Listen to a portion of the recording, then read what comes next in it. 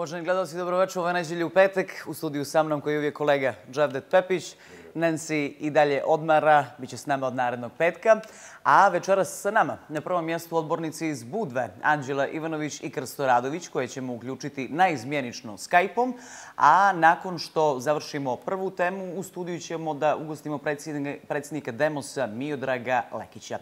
A što se Budve tiče, u njoj ovih dana pljušta tužbe za lažno predstavljanje ne zna se ko je vlast, ne zna se ko je opozicija, to ćemo da pitamo što sebe i onoga drugog smatraju i Anđelu i Krsta.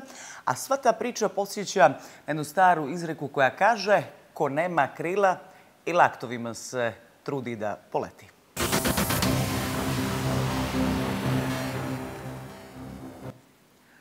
Na liniji bi trebalo da imamo predsjednicu Crnogorske, Anđelu Ivanović. Anđela, da li nas čuješ? Dobro večer. Dobro večer, čujem vas. Odlično. Hvala vam na pozivu, dobro večer vama i vašim gledalcima. Hvala puno što ste se odezvali. Prvo pitanje za vas. Kako se vi predstavljate? Jeste li vi vlast ili opozicija? Znamo da ste predsjednice Crnogorske, znamo da ste odbornice u Budvi, ali jeste li vi da vas pitam, kao što bi svaki građanin, vlast u tom gradu ili ste opozicije? Prvo da vam se predstavim, ja sam Anđela Ivanović, ja sam odbornica Crnogorske u Skupštini opštine Budva. Do sada sve moje funkcije dok sam bila u vlasti sa prethodnim koalicijalnim partnerima bile su volonterske. Sve političke funkcije koje sam odrađivala kao i radnje koje sam radila kao potpredsjednica Skupštine opštine Budva radila sam volonterski.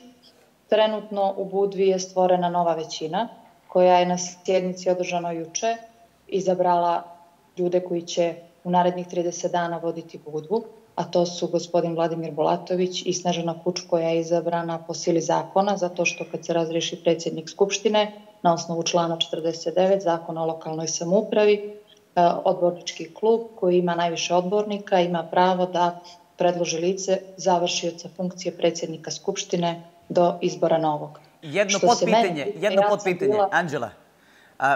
Danas smo u medijima čitali da ste pokušali tu odluku da dostavite predsjedniku Skupštine opštine Krstu Radoviću, koji je u zgradi opštine. Ta odluka je, koliko sam ja shvatila, pocijepana. Pa da vam kažem, mi smo, kao što je gospodin Vulatović danas rekao, mi zaista posebno mi iz Crnogorske nemamo razloga nikakvoga da se krijemo, dolazimo na sporedne ulaze. Ja sam danas sa koleginicom Kuč kao neko ko je predsjedavao tom sjednicom na osnovu ovlašćenja koje sam dobila od 16 odbornika i ja, to je 17. Ovaj, mi smo otišli na glavni ulaz opštine, dočekalo nas je obezbeđenje, obezbeđenje nas je najavilo kod predsjednika Skupštine. Nama suštinski nije ni trebao bivši predsjednik Skupštine. Nama je bilo neophodno odraditi radnje u službi Skupštine koja, koje podrazumijevaju znači, zatvaranje e, cjelokupne pravne procedure. Suštinski nas je dočekao predsjednik Skupštine i moram zaista da demantujem natpise koje onako pod znacima navoda kažu da je on nas ispratio na ne znam ja kakav način, on je bio vrlo smiren, vrlo ljubazan, čak nas je i snimao, ovaj, kasnije sam vidjela na društvenim mrežama, ovaj, mi smo rekli zašto smo došli, on nam je rekao da je to sve nezakonito i pocijepao je dokumentaciju, to sve ima snimak koji je on sam napravio i napravljen je u službi Skupštine, ja nisam nezakonito nikoga snimala. E, mislim da je on danas mogao da završi cjelokupnu dramu u Budvi. On je mogao da ili da odgovor zašto neće, da kaže pozivam se na član zakona toga i toga, vi nemate pravo, ovi akti su nezakoniti, da dokument i mi odemo. A Dobro, Anđela, mi ćemo, evo, evo, mi ćemo ga to evo i u vaše ime pitati, ali ja vas da pitam, kazali ste, nijeste završili posao koji ste namiravali u zgradi Skupštine opštine Budva.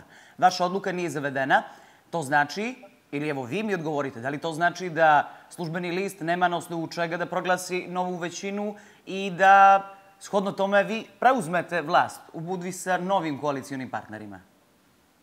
Pa ne, ne bih to tako definisala. Mi smo ovu vlast podržavali, mi smo ovu vlast e, koja je znači sad smijenjena podržavali, e, davali je vještačko disanje dvije godine bez ikakvog učešća u vlasti, nakon toga sa jednim e, učešćem u vlasti koje se najgor, naj, najlošije je bilo za nas same. Pravna procedura, zakonita pravna procedura, mora se dovesti do kraja Ja, vjerujte mi, više sebe, E, neću da izlažem situaciju u kojoj će neko da me vrijeđa, e, neko da mi ne dozvoli da ostvarim svoja osnovna prava koja imam kao odbornica, kao predstavnica građana, nijedno pravo ne može da se koristi da se ograniči demokratija, naprotiv, svako pravo mora da, da jača i snaži demokratiju. E, ja neću više ići u službu Skupštine da tražim bilo kakvo zavođenje ili bilo kakvo pečatiranje dokumenta. Ja sam E, potpisala službenu zabilješku koja je sačinjena povodom tog slučaja.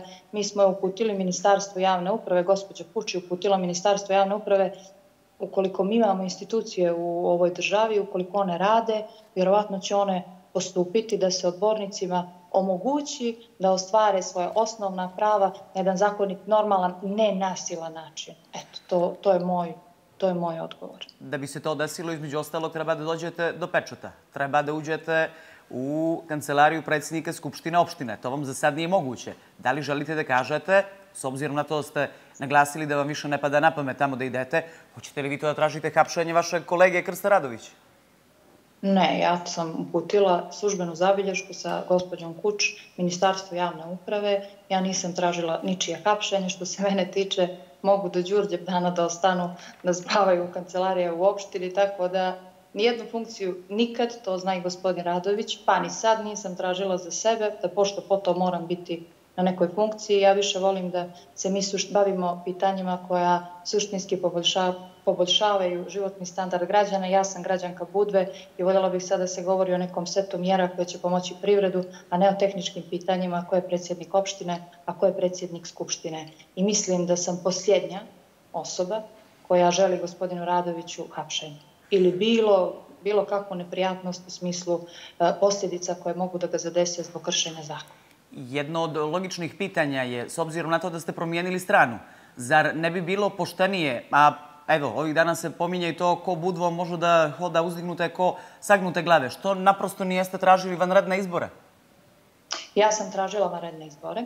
Ima snimak sa sjednice Skupštine opštine Budva koja je održana negdje poslije nove godine e, E, povodom, mislim da je bila hitna sjednica i da je na tema bila e, plan uređenja plan je neki bio uređenja prostora, čini mi se. E, ja sam mojim kolegama rekla da je jedini lijep način da izađemo iz ove priče da idemo na redne izbore. Od kolega sam dobila nakon sjednice Skupštine opštine upozorenje da mi ne pada na pamet da više te teme pokrećem, već da moji odbornici i ja glasamo za te teme koje su na dnevnom redu, jer će od nas ponovo napraviti satelite DPS-a. A Kad ste izabrani... Recite, recite. Uh, juče sam, slučajno sam bila od mjesta do mjesta prinuđena da šetam budvanskim šetalištem i to sama, bez ikakvog obezbeđenja. Gospodin Bulatović, e, sada vršilac funkcije predsjednika opštine i ja smo šetali bez ikakvog obezbeđenja, bez policije. Moram da vam kažem da je 80% građana koje smo sreli prišlo, pozdravilo se sa nama i čestitalo nam na hrabrosti. Kažete, želite da izbjegnete etiketu satelita DPS-a. E, mlada ste političarka. Da li vam je... da želim da izdignem e, etiketu satelita DPS-a. Želim da vas pitam, jeste li, jeste li svjesni uh, istorije i kraja svih stranaka koje su sarađivale sa DPS-om zbog raznoraznih razloga, recimo od Liberalnog saveza do pozitivne. Da li se bojite takve sudbe? Da vam kažem nešto. E, ja bih isto razmislila o sudbini partija koje su radile protiv svoje države ne samo u, u Crnoj Gori, nego uopšte u svijetu. One su isto neslavno završile. Meni se čini da su partije koje su podrivale temelje sobstvene države isto neslavno završile.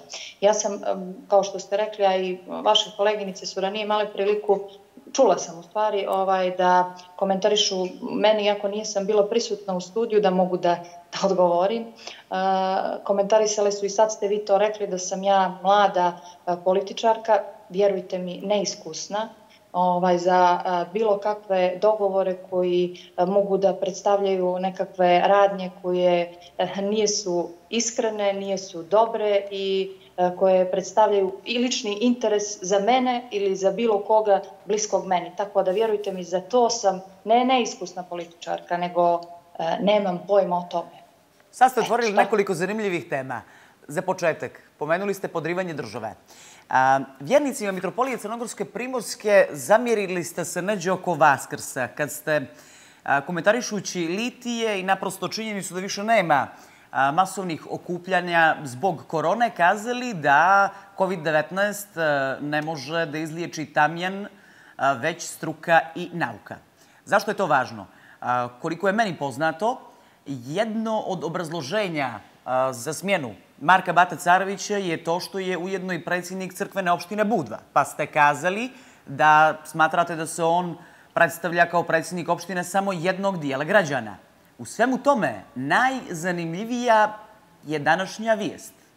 Da li ćete od DPS-a da tražite nešto? Da li ćete njih da se odreknete na isti način kao što jeste Marka Bata Carovića, zbog toga što, evo, čuli smo, Đukanović, Marković, vrh države, vrh DPS-a, sastanči sa Amfilohijem, a to niko ne zna u momentu kad se dešava. Da li važi, da li važi isti aršin? I još jedno pitanje, je li vama normalno da se vrh države u ovako kritičnim trenucima srijeće sa najvažnijim čovjekom zajedno s njim, mitropolitom, a da se to krije od svih građana Crne Gore? Da vam kažem nešto, ja bih voljela da su se oni mnogo puta tajno sastajali i da uopšte građane Crne Gore o tome nisu obevištavali, niti što su radili, niti što su se dogovarali, nego da su uh, stvarali uslove da normalno radimo i da nam se država razvija u nekom drugom pravcu. Možda bolje da nas uopšte nisu obavještavali nikad o bilo kakvim ovaj, njihovim dogovorima i razgovorima, možda bi svi bolje i ljepše živjeli. Eto, u tom dijelu bih, se bih vam rekla, vezano za taj sastanak koji kao bio tajan, pa niko nije znao, mnogo ja sam se uh, vjernicima Srpske pravoslavne crkve zamjerila još e, prije nove godine, kada sam uh, ustala protiv sobstvenog rukovodstva partije i rekla da ne mogu da vjerujem da uh, misle, mislila sam da su ti ljudi emancipatori spremni da, da prevaziđemo napokon u crnogorskom društvu tu robovsku politiku, podijeljenost na DPS i opoziciju koja je ekstremna. Zaista sam vjerovala da neki ljudi mogu da donesu promjene i da idemo ka nekakvom progresivnom razvoju i da idemo nekakvim savremenim tehnologijama, vjerujte mi, za mene Dobar, politika... Ništa od, ali evo, ništa od toga prema onome što vi sad govorite se ne dešava. I ja vas lijepo pitam, da li će se Crnogorska na lokalnom nivou na bilo koji način odrediti povodom prijedloga predsjednika države i predsjednika vlade, pri čemu nikome nije jasno kako s tih pozicija predlažu da se obustavi primjena zakona, jer bi to Skupština trebalo da radi. Da. Što je vaš stav? Tim povodom? Da li će se na bilo koji način odraziti, kažem, evo još jednom, na to što ste podržali DPS na lokalnom nivou u Budvi? E, ne bih ja rekla da sam ja podržala DPS i Crnogorska da je podržala DPS. DPS je nas podržao za inicije, prvo za inicijativu za smjenu predsjednika opštine Marka Carevića, a da vam kažem, ja bih voljela da se oni dogovore Ko? na sastanci Mitropolija i država. Ja bih jako voljela da se oni dogovori, da nađu minimum, pa da se dogovore kako će da riješe crkveno pitanje u Crnoj Gori. Ajvo, ja vas pitam, ja vas, vi ste predsjednice Crnogorske, kako biste vi to riješili?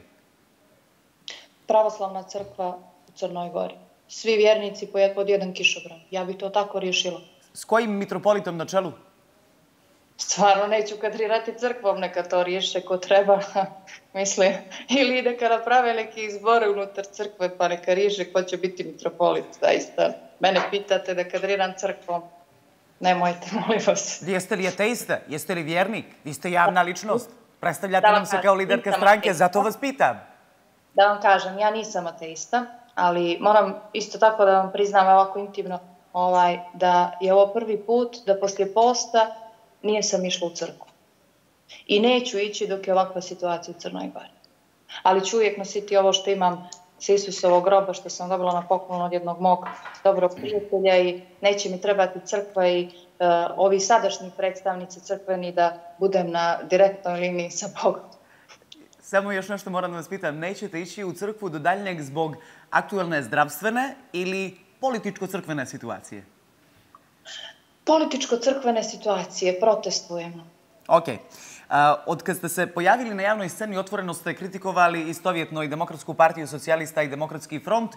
Sjećam se da sam jednom i ja vas citirala u ovoj emisiji. Mislim da je tamo gospodin Carević bio gost kad sam početila na to da ste svoje vremena govorili da je on prema vašim tvrdnjama šurovao sa DPS-om dok ste vi tek učili da hodate.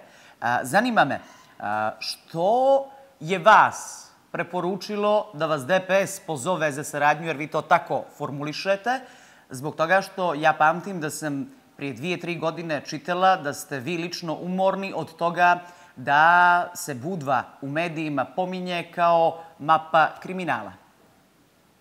Tako je, potpuno ste u pravu.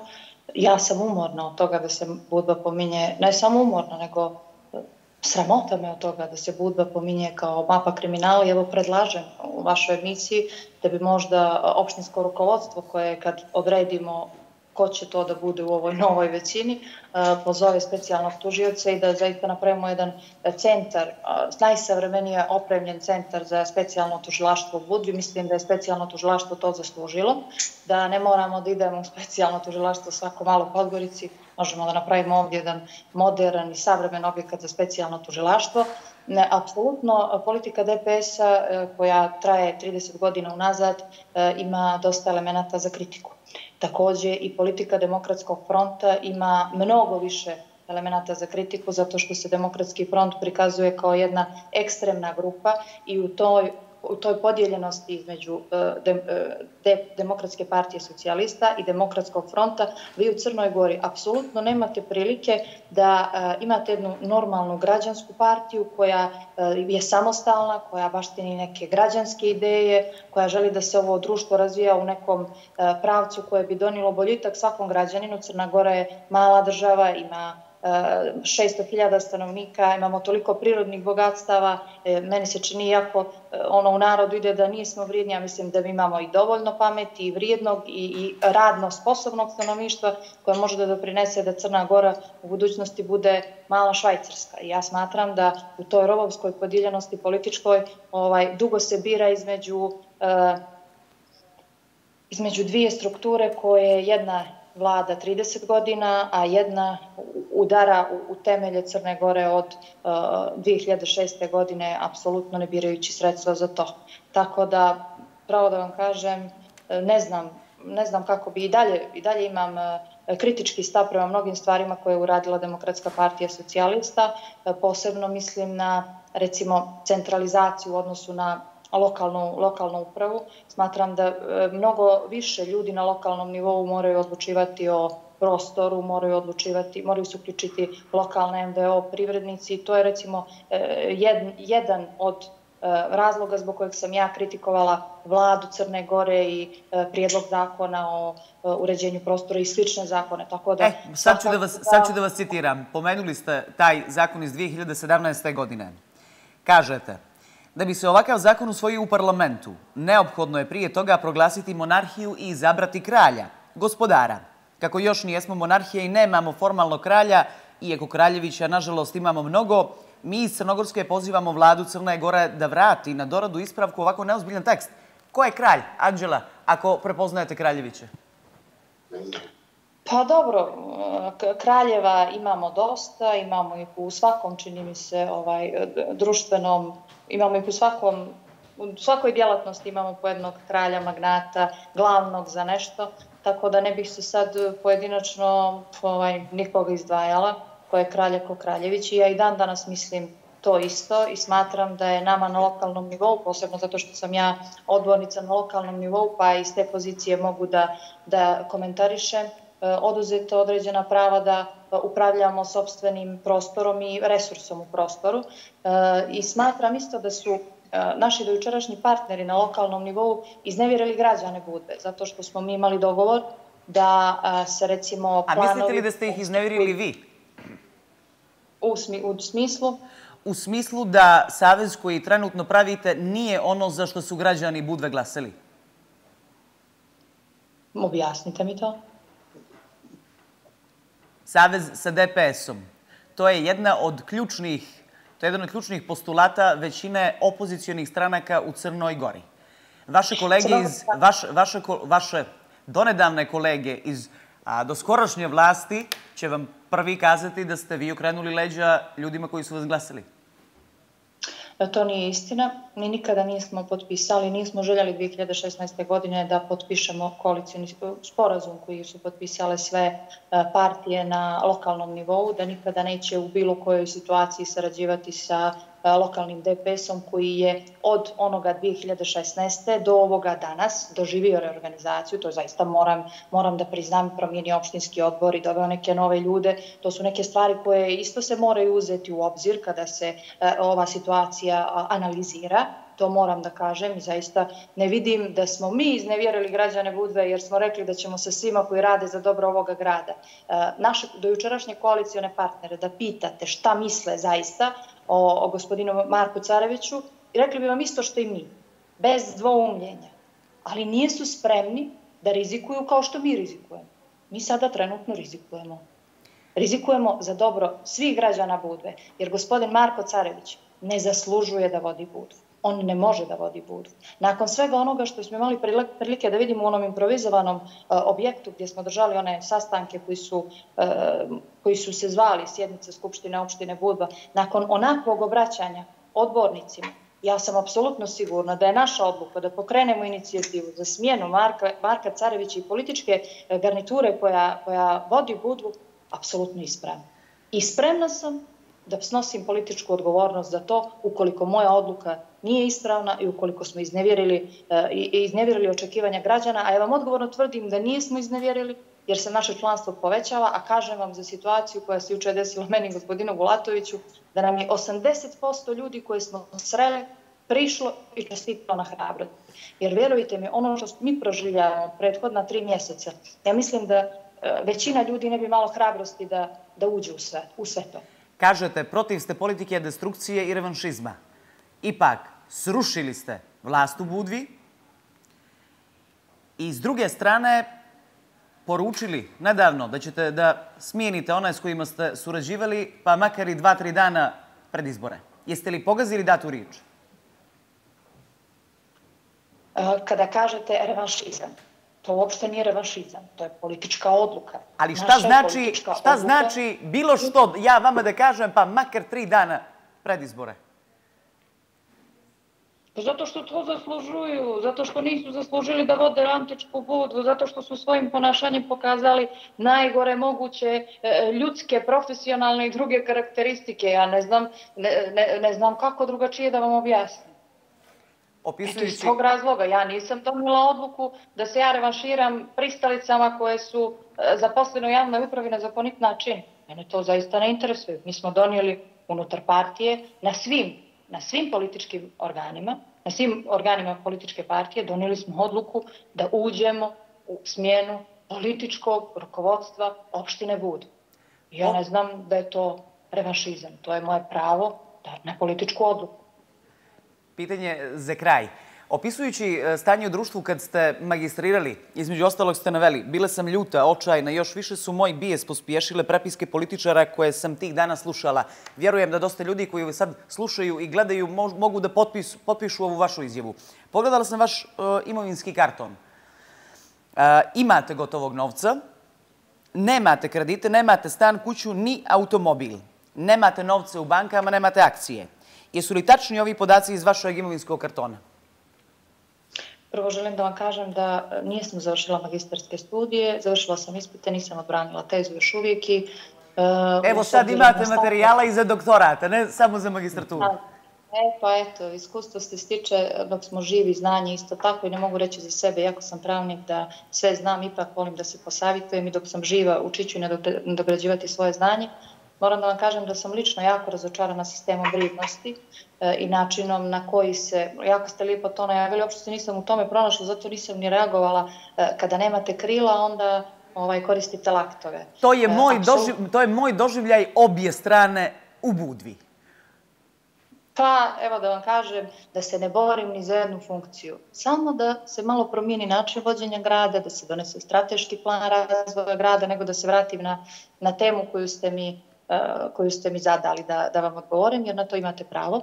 I jesam, bila sam razočarana i zbog toga osjećam veliku odgovornost zbog trenutnog političkog trenutka u kojem se ja nalazim. Imam obavezu da se izvinim svim građanima Budve i e, posebno privrednicima što u ovom post-korona periodu umjesto mjera za podršku njima. Mi zaista raspravljamo po mom mišljenju o tehničkim pitanjima. Za mene su tehnička pitanja koje je predsjednik opštine i predsjednik skupštine, jer oni su administrativno osoblje koje treba da radi u najboljem interesu grada i građana i da poštuju se između sebe, izvršna i zakonodavna vlast, što zaista oni nisu pokazali. Podaci iz mog imovinskog kartona jesu tačni. Moj gotovi novac je nastao iz zakonito pravnog osnova. Kad sam rodila sina, dobila sam nekretninu koju sam umeđu vremenu prodala. Gotovi novac ne držim na banci, ali zbog ovoga što ste rekli, ja ću morati od sutra da ga stavim u neku banku iz razloga što živim sama sa maloljetnim djetetom i zaista ste me sad stavili u neprijatnu situaciju da pored svega što proživljavam u ovom prethodnom periodu, sad i mislim da će možda neko da dođe na moja vrata da traži novac. To je imovinski karton. Do tih podataka ne u vezi s vama, nego u vezi sa bilo kojim funkcionerom u Crnoj Gori se stiže s pomoću dva klika. Da, jeste, ali ipak je vaša televizija možda malo gledanija nego što je neko zainteresovan da vidi da li Anđela Ivanović, odbornica Crnogorske, ima gotovog novca. U redu, ostalo koliko bude moglo, mlada sam, zaradit ću, stvorit ću sigurno ovaj, e, imam još dosta godina da se dokazujem i da radim i da stvaram možda u nekim boljim uslovima koje obezbijedim za sebe i svoje dijete. Ja se nadam da niste u pravu za ovu brzu analizu medijskog tržišta u Crnoj Gori. Želim vam svu sreću, sve najbolje i ja se nadam bit će prilike da se upoznamo i da vas uživo dočekamo u ovom studiju nakon što se budete uvjerili, naravno ne na osnovu svoje kuće ili stana, koliko ste večeras bili gledani i koliko ste uspjeli da uvjerite sve građane Crne Gore u ono zašto se zalažate. Hvala vam na pozivu. Ja ću vam se uvijek odazvati ako ne mogu da dođem u Podgoricu. Svi građani pa i vi novinari imate pravo da e, pitate što god hoćete i da na ta pitanja e, dobijete odgovor. Bila ovo predsjednica Crnogorske Anđela Ivanović. Kolege iz režije molim da pozovu e, njenog kolegu iz Budve. Krsta Radovića, a umeđu vremenu željela bih da čujem osvrt moga dragog kolege Džavdete Pepića na sve što smo čuli u prvom dijelu emisije. Pa, drago mi je bilo da je večeras ovdje sa nama gospođa Ivanović, ali ono kad pričamo o Budvi, ovdje se postavlja jedno pitanje kao da je neko pobjednik. Ovdje je najviše izgubila demokratija i demokratski proces u Crnoj Gori. Zašto ovo kažem? Ovi događaji u Budvi uvjeravaju nas u nešto da izborna volja građana uopšte nije tolika ko bitna u našem društvenom sistemu. Zašto ovo kažem? Pa zato što bez obzira ako imate i većinu, ako vladujući riješe da sruše tu većinu, uvijek će naći nekoga. Ja ovdje neću da pričam o korupciji, ne znam da li ima ili ne, ali ja bih postavio etičko pitanje, prije svega mislim gospodinu Đakoviću, kako se on osjeća u ovoj situaciji? Zbog čega ovo kažem? Zvali smo ga, izvali, izvali, imali najavu da bi mogao da dođe, na kraju se ja mogu da kažem, ali ja, ja sad s druge strane gledam, on je bio na listi Demokratskog fronta. Ima pravo svako po meni, legitimno i legalno pravo je da se neko na nekoga naljuti. Ali mislim da nema pravo da svoj mandat prebaci drugoj strani. Ono što se tiče Crnogorske, reći će za Crnogorsku, Iako... Zašto pričaš kao da se ovakvo nešto prvi put dešava pa, u Crnoj Baš zato što se ne dešava prvi put. Znači, ovo samo nas tjera da je Crnoj Gori demokratski principi uopšte ne važe. Ovo se ne dešava prvi put i ovi, ajde, neću i nazvati, ali ima termin koji se kaže preletačevići, su veoma česta situacija. Ovdje ja ne postavljam pitanje et, e, toliko korupcije priče, ko kome duge, uvijek ima neke priče, ali postavljam pitanje etike. Odakle je mene pravo da ako se ja nađem na nekoj listi da iznevjerim, ko može da izmjeri, koliko ja znam, evo 17 odbornika je bilo u tom dijelu, koliko čiji mandat nosi. Znači, svako ima pravo da se naljuti, da napusti, ali nema pravo da svoj glas prenese na drugo. I ono što moram da kažem, mene su bila smiješna opravdanja, gospodina Đakovića koji je sve opravdavao to pod otvorenim listama. Koliko znam njegov angažman, nikad nije objasnio kako misli te otvorene liste. Ja sam čovjek koji se zalaže za otvorene liste, ali otvorene liste su jedna e, veoma, veoma zanimljiva, ali i stručna tema.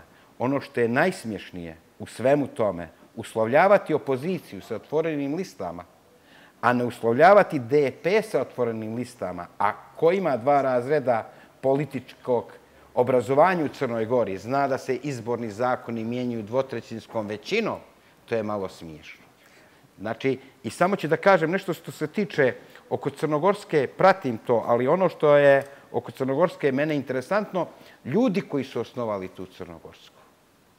Dakle, to su ljudi koji su napustili liberalni savez i koji su htjeli da budu, ajde da na tako nazove, veliki crnogorci, koji su uvijek izigravali neku opoziciju. Ajde, neću reći da su htjeli... Normalno imamo velike crnogorce, male crnogorce, pa, velike to je, srbe, to je, male to je, milice, srbe. Kod nas, to nije dijagnoza već ali po sebi. Ali jeste dijagnoza, ali to je interesantno. Znate, kod nas je nacija i vjera postalo zanimanje. O tome sam već govorio. Ali to su ljudi koji, ajde ako neće da kažu da će da budu za direktno za stolom gospodina Đukanovića, onda neće da budu daleko od stola. Ono i da toću, koji je kralj u Crnoj Gori, zna se da je kralj gospodin Đukanović.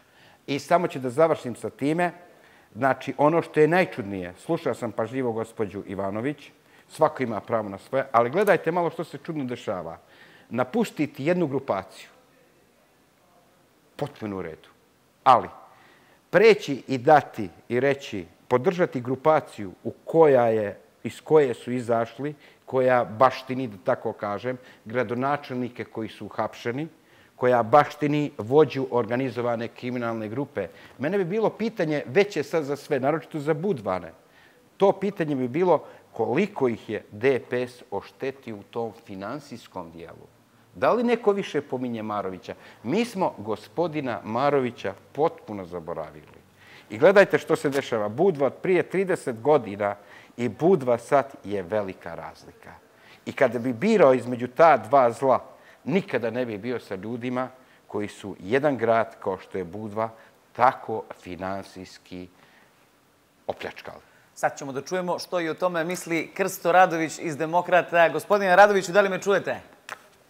Čujem, dobro večer. Dobro večer, najljepši pozdrav iz studije emisije Neđelja u petak. Drugi Kantov kategorički imperativ kaže postupaj prema drugima onako kako bi volio da se oni odnose prema tebi. Kako biste svim građanima Crne Gore objasnili s kojim pravom branite vlast? Imate 16 odbornika, s one druge strane ih je 17. Biste li voljeli da vam to neko uradi? E, prvo, da se zahvalim na pozivu i da pozdravim sve gledalce vaše televizije. I evo, pred vama večera sam ovdje, glavom i bradom, jedini legalni, legitimno izabrani predsjednik Skupštine opštine Budva. E, ne znam šta da kažem, živ sam i zdrav sam, tu sam, trenutno sam u svojoj kancelariji. I znate ovaj što bih voljela, izvinite što vas prekidam, zašto nijeste s nama u studiju, nego nam se javljate Skype-om? Pa evo, upravo sam sjedim u svom kabinetu i, ovaj, i upravo to je razlog e, zbog kojeg e, se javljam Skype-om, e, odnosno ovim putem komuniciram, inače bilo bi veliko zadovoljstvo da dođem.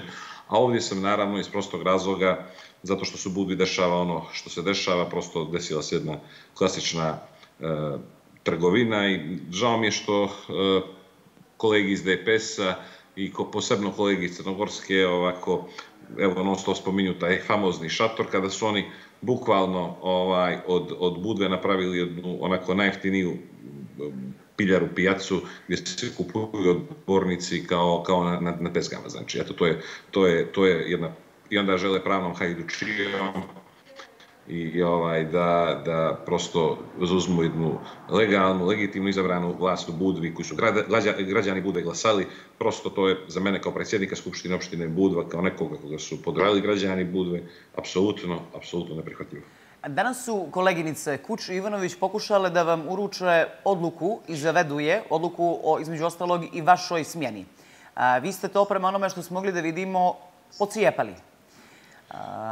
Ranije tokom dana pisali ste službenom listu. Upozorili ste ih da ćete protiv njih podnijeti krivičnu prijevu ako ovu odluku koja je izglasana u hotelu objave. Je li ovo neka pat pozicija? Evo sad ću vam reći, nema ovdje nikakve pat pozicije. Dakle, gospoda uh, iz Crnogorske i DPS-a i uh, nezavisni odbornik, odnosno očigledno zavisni odbornik Đaković, predali su potpuno ovaj, e, popredali su dokumentaciju koju su predali, shodno toj dokumentaciji, svim rokovima, zakonima, sazvane su sjednice, sjednice Skupštine opštine Budva.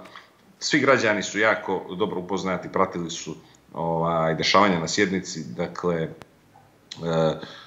svi su oni učestvovali u raspravama, čak su imali svoje izlaganja, ako se sjećate odbornice Kuč, koja je onih 17-16 strana, ne znam ja koliko čitala, onako u dahu, kao da sam na optužedničkoj kupi, da sam ukrao ne znam ni ja što.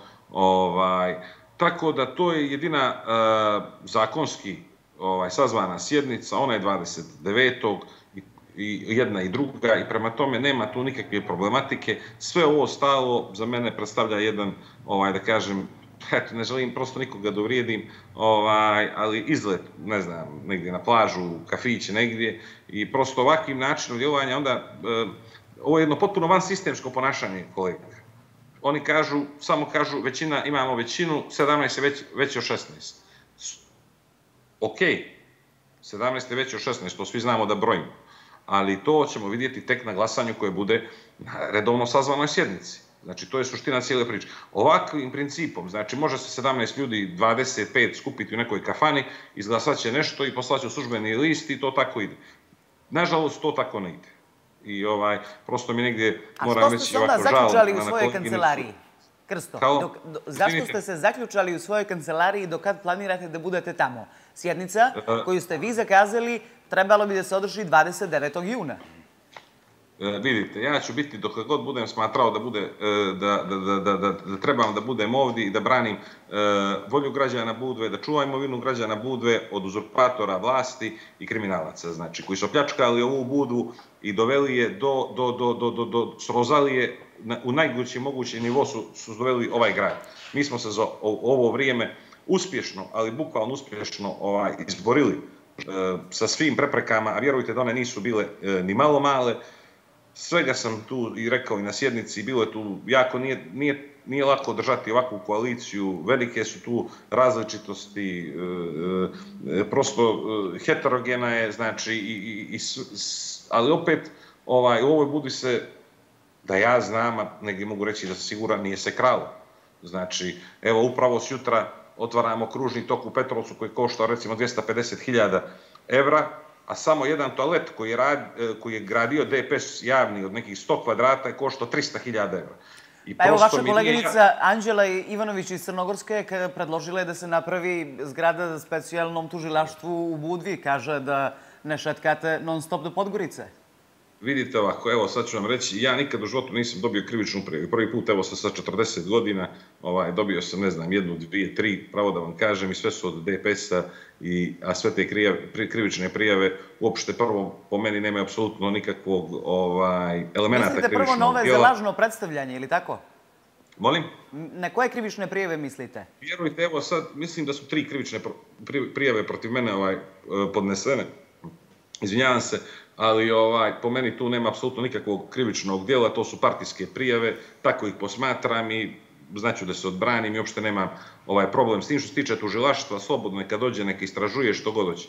Meni su potpuno ovaj savjesni, čista, stojim ovaj na braniku volje građana Budve i apsolutno nema nisam ništa ukrao, nisam ovaj eh, sem svoje plate ništa ovaj drugo uz ovo vrijeme koje radim i to nemam nikakav problem sa tim, neka istražuje ko što hoće. Ako je nešto neko ukrao, ako je nešto zupotrebio, odmah neka odgovara. Ja nemam apsolutno nikakav problem s tim. Ono što znam da je Buda prepoznata bila svuda kao jedna, jedna, jedna, jedna, jedna crna rupa gdje su bivši gradonačelnici i rukovodstvo hapšeni, gdje su stotine miliona nestale. Nažalost, ne, ne, ne nažalost, nažalost, sve ove situacije, ovako prosto mi žao kolegi Crnogorske, što nisu to shvatili, što su ovaj, krenule na drugu stranu, ovaj, iako sam rekao tu i na sjednici imao izuzetno korektnu saradnju, ali ovaj, prosto nedopustivo mi je da DPS se vrati u Budu i to se neće desiti i Budva se pljačkati više neće, to mogu da budu sigurni građani Budve. Da li zbog trenutne situacije i u jednom dijelu preuzimate odgovornost na, kako ste vi opisali, heterogenu koaliciju, čiji ste dio?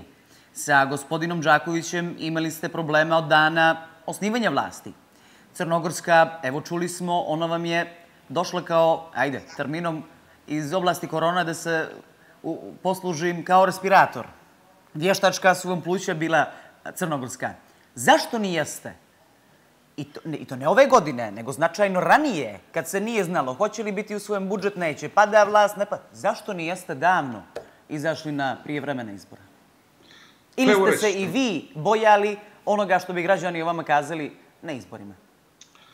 Pa evo, prvo ovaj, moram da kažem da ja i moja partija smo spremni u svakom času da izađemo na izbore i da se izmjerimo pred građanima Budve i da podnesemo odgovornost za sve ono što smo uradili i za sve ono što smo rekli. Znači, tu apsolutno ja sam, nema Samo kratko, ja se ne sjećam ni jednog jedinog političara koji to nije rekao za svoju stranku. Ne, ja stvarno ovaj, to iskreno mislim, ja nisam nikakav iskusni političar, ja se politikom bavim poslednjih evo, par godina. Ovaj, nemam, nemam neko preveliko političko iskustvo, naravno.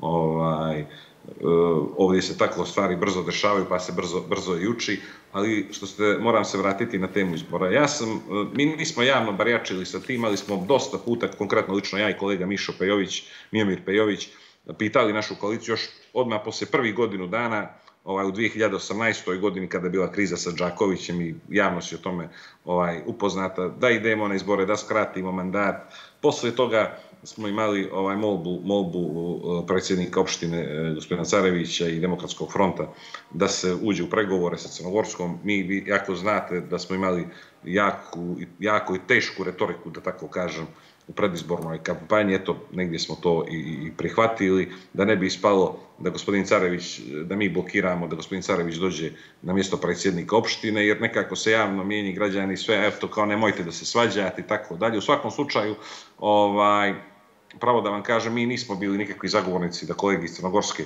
uđu u tu koaliciju, ali moram reći kada su ušli u koaliciju da smo imali izuzetno korektnu saradnju, barem što se tiče mene i, i, i, i moje partije na lokalnom nivou, tako da to je jedina istina, ja to ne mogu da kažem nešto što, što nije, ovaj, to je istina i tu nema, tu nema ovaj dileme. I za to mi je dodatno sam razočaran prosto u, u, u moje kolege, ovaj što, što, što su postupile na ovakav način, ali oni će se morati nositi sa tim i morat će se boriti sa tim.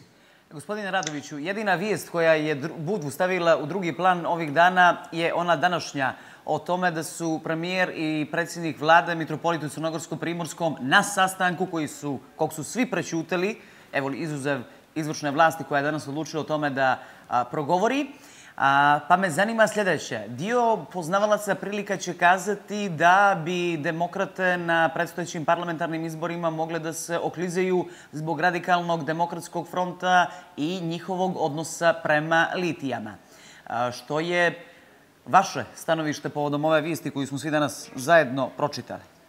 Prvo moram da kažem da je Demokratska Crna Gora građanska partija, partija u koju e, imamo pripadnike svih vjera i, i, i svih nacija, znači to je potpuno nešto što nije sporno i tu nema dileme. E, kogod želi da nas stavlja u bilo kakve tabore, pod kakve kišobrane, to su čisti politički spinovi, manipulacije. Mi jasno imamo svoj građanski pravac i tu nema nikakve dileme i ja što tiče identitetskih pitanja, kao Krsto Radović jako dobro znam što sam, ko sam i nemam apsolutno nikakav problem tim, sa tim. Također imam veliki broj mojih prijatelja evo, i u Petrovcu i suda kuda i Albanaca i Hrvata i, i čak i Kumstava. I uopšte vjerujte mi da ta, da ta identitetska pitanja i te stvari koje nas dijele evo 30 godina i obično se tenzije dignu pred izbore, to je nešto što opterećuje građane, mi treba da gledamo šta nam je u frižideru i, i, i, i da se bavimo sa tim stvarima, da se bavimo ekonomijom i to je nešto jedino o čemu treba o čemu da pričamo. Što se tiče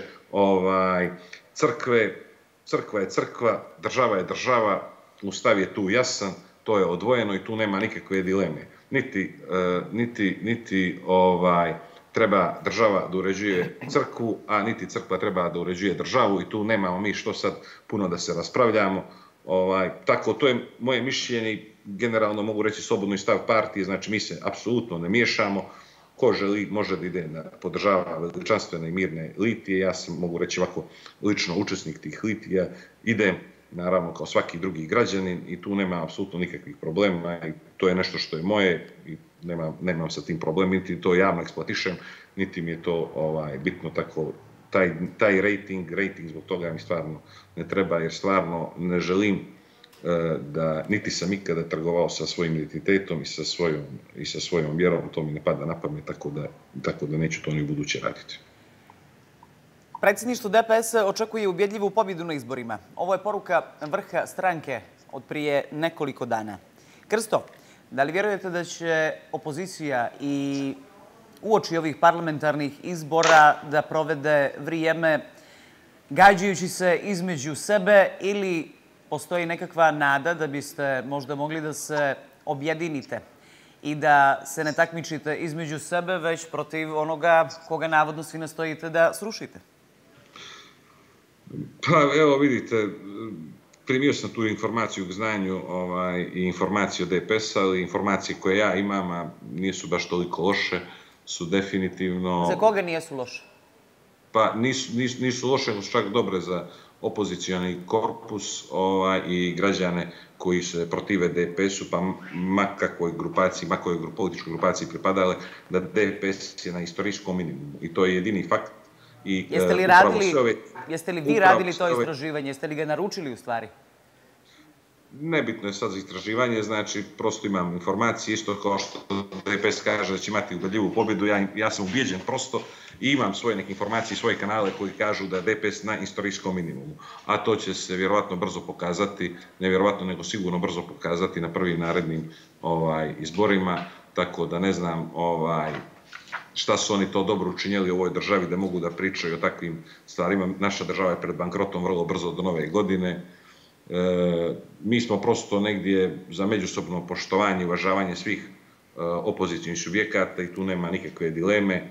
Svako ima, svako, svako politički nastupa onako kako želi. Mi imamo demokrate jasan put, naš put je građanski put, naš put je Evropska unija i tu nema nikakvih, nikakvih ovaj, dilema evropske vrijednosti to i pokazujemo na svakom koraku i uopšte ne želim ovaj da, da, da, da, da, da dozvolimo da nas vraćaju kao što nas vraćaju ovaj, kao što nas vraća DPS konstantno čas hoć, ovaj poslednjih 30 godina ako malo mijenjaju ovaj, što se kaže ideologije i ne znam ja što, a profitiraju pune džapove ljudi koji su bez jednog centa došli na vas, da nas imaju stotine miliona, to je jedna katastrofa i ne znam što drugo da kažem. Građani se moraju osvijestiti i, i, i da pokušamo da pokušamo na narednim izborima ovaj da da smijenimo tu jednu po meni katastrofalnu vlast koja koja ne funkcioniše. A, pomenuli ste, kako vi kažete, ljude koji su bez centa u džepovima došli na vlast. Ja se nadam, vi se nećete ne ljutiti na mene kao novinara, kao što je to učinila vaša koleginica iz Crnogorske Anđela Ivanović, ali i vaš imovinski karton je dostupan kompletnoj javnosti. Naravno, naravno, um, Posjedujete porodičnu zgradu koju ste dobili na poklon, pola jednospratne zgrade, imate građevinsko zemljište, dva stana, tri automobila, bavite se iznemljivanjem lokala i turističkih apartmana, prijavili ste dosta keša, nijeste dali saglasnost za uvid u bankarske račune. Moje pitanje je, kako je moguće da se u, kako opozicija, opozicija godinama tvrdi, lopovskoj zemlji, kakva je Crna Gora, zaradi pošteno sve ovo što lično vi imate? Eh, pravo da vam kažem, uopšte nisam ljud, nego naprotiv, ovaj, zahvalan sam što ste postavili to pitanje. Ja se ne bojim da radim svoj posao, ali mi je stalo da imamo dobru, da imam dobru javnu komunikaciju sa ljudima sa javne scene. što ste postavili to pitanje, ovaj, zato što e, sve ono što sam zaradio i što mi je porodično nasledđe, to je sve prije politike, ja kao Krsto Radović, od 2016. godine nisam potpisao ni jedan ugovor, niti firme, niti bilo što, tako da apsolutno sam tu ovaj, kako se zove, relaksiran. E, sve sam prijavio ono što posjedujem legalno, nikome ništa nisam ukra, nemam nikakvih sporova protiv mene.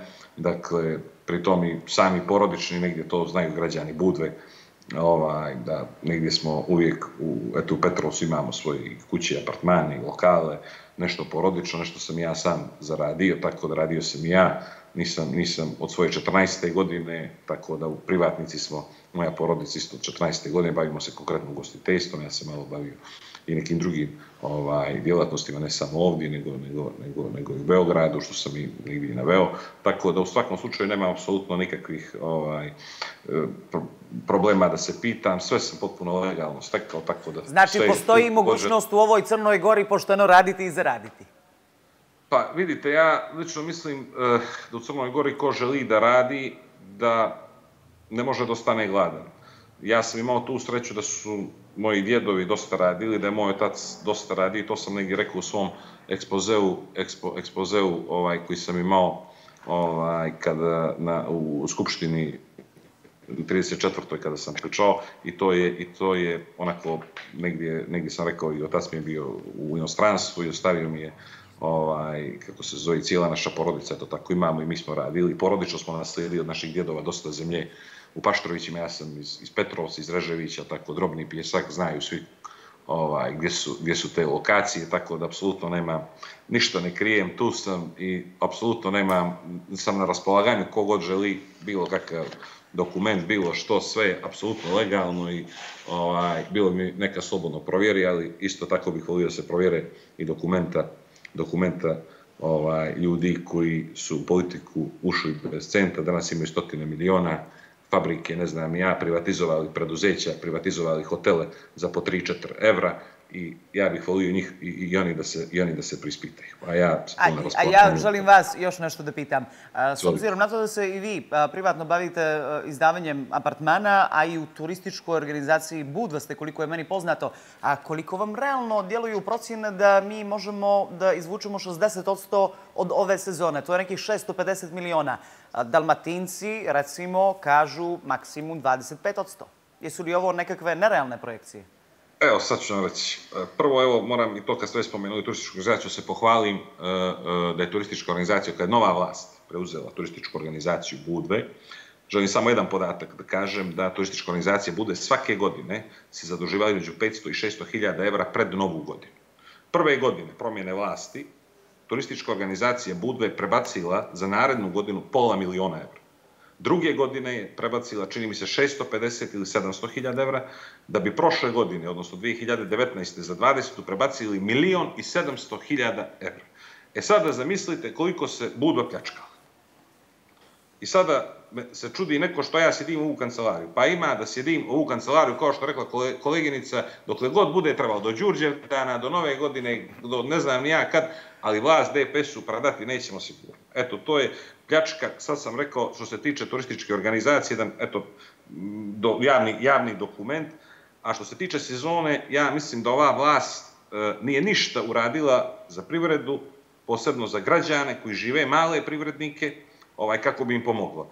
I spas sezone e, e, i spas države ne 60%, nego 100% je sigurno jedino smjenom ovoga režima. Ova država ne može da pomogne nikome. A činjenica, zašto je to tako? Evo recimo, opština Budva, koja, kažem, u, u, u, u regularnim tokovima u, u Budvi se okrene oko 500 miliona evra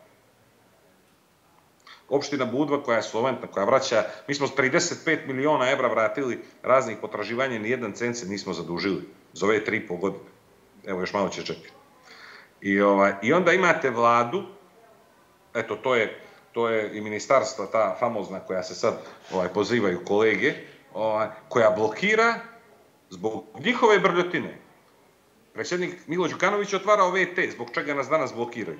Gradonačelnici su otišli u zatvor. I, I ova vlast se blokira zbog toga. Zašto? Da se blokira i mislili su gospoda će oni da dođu sad i oni će to da blokiraju da budu spasioci.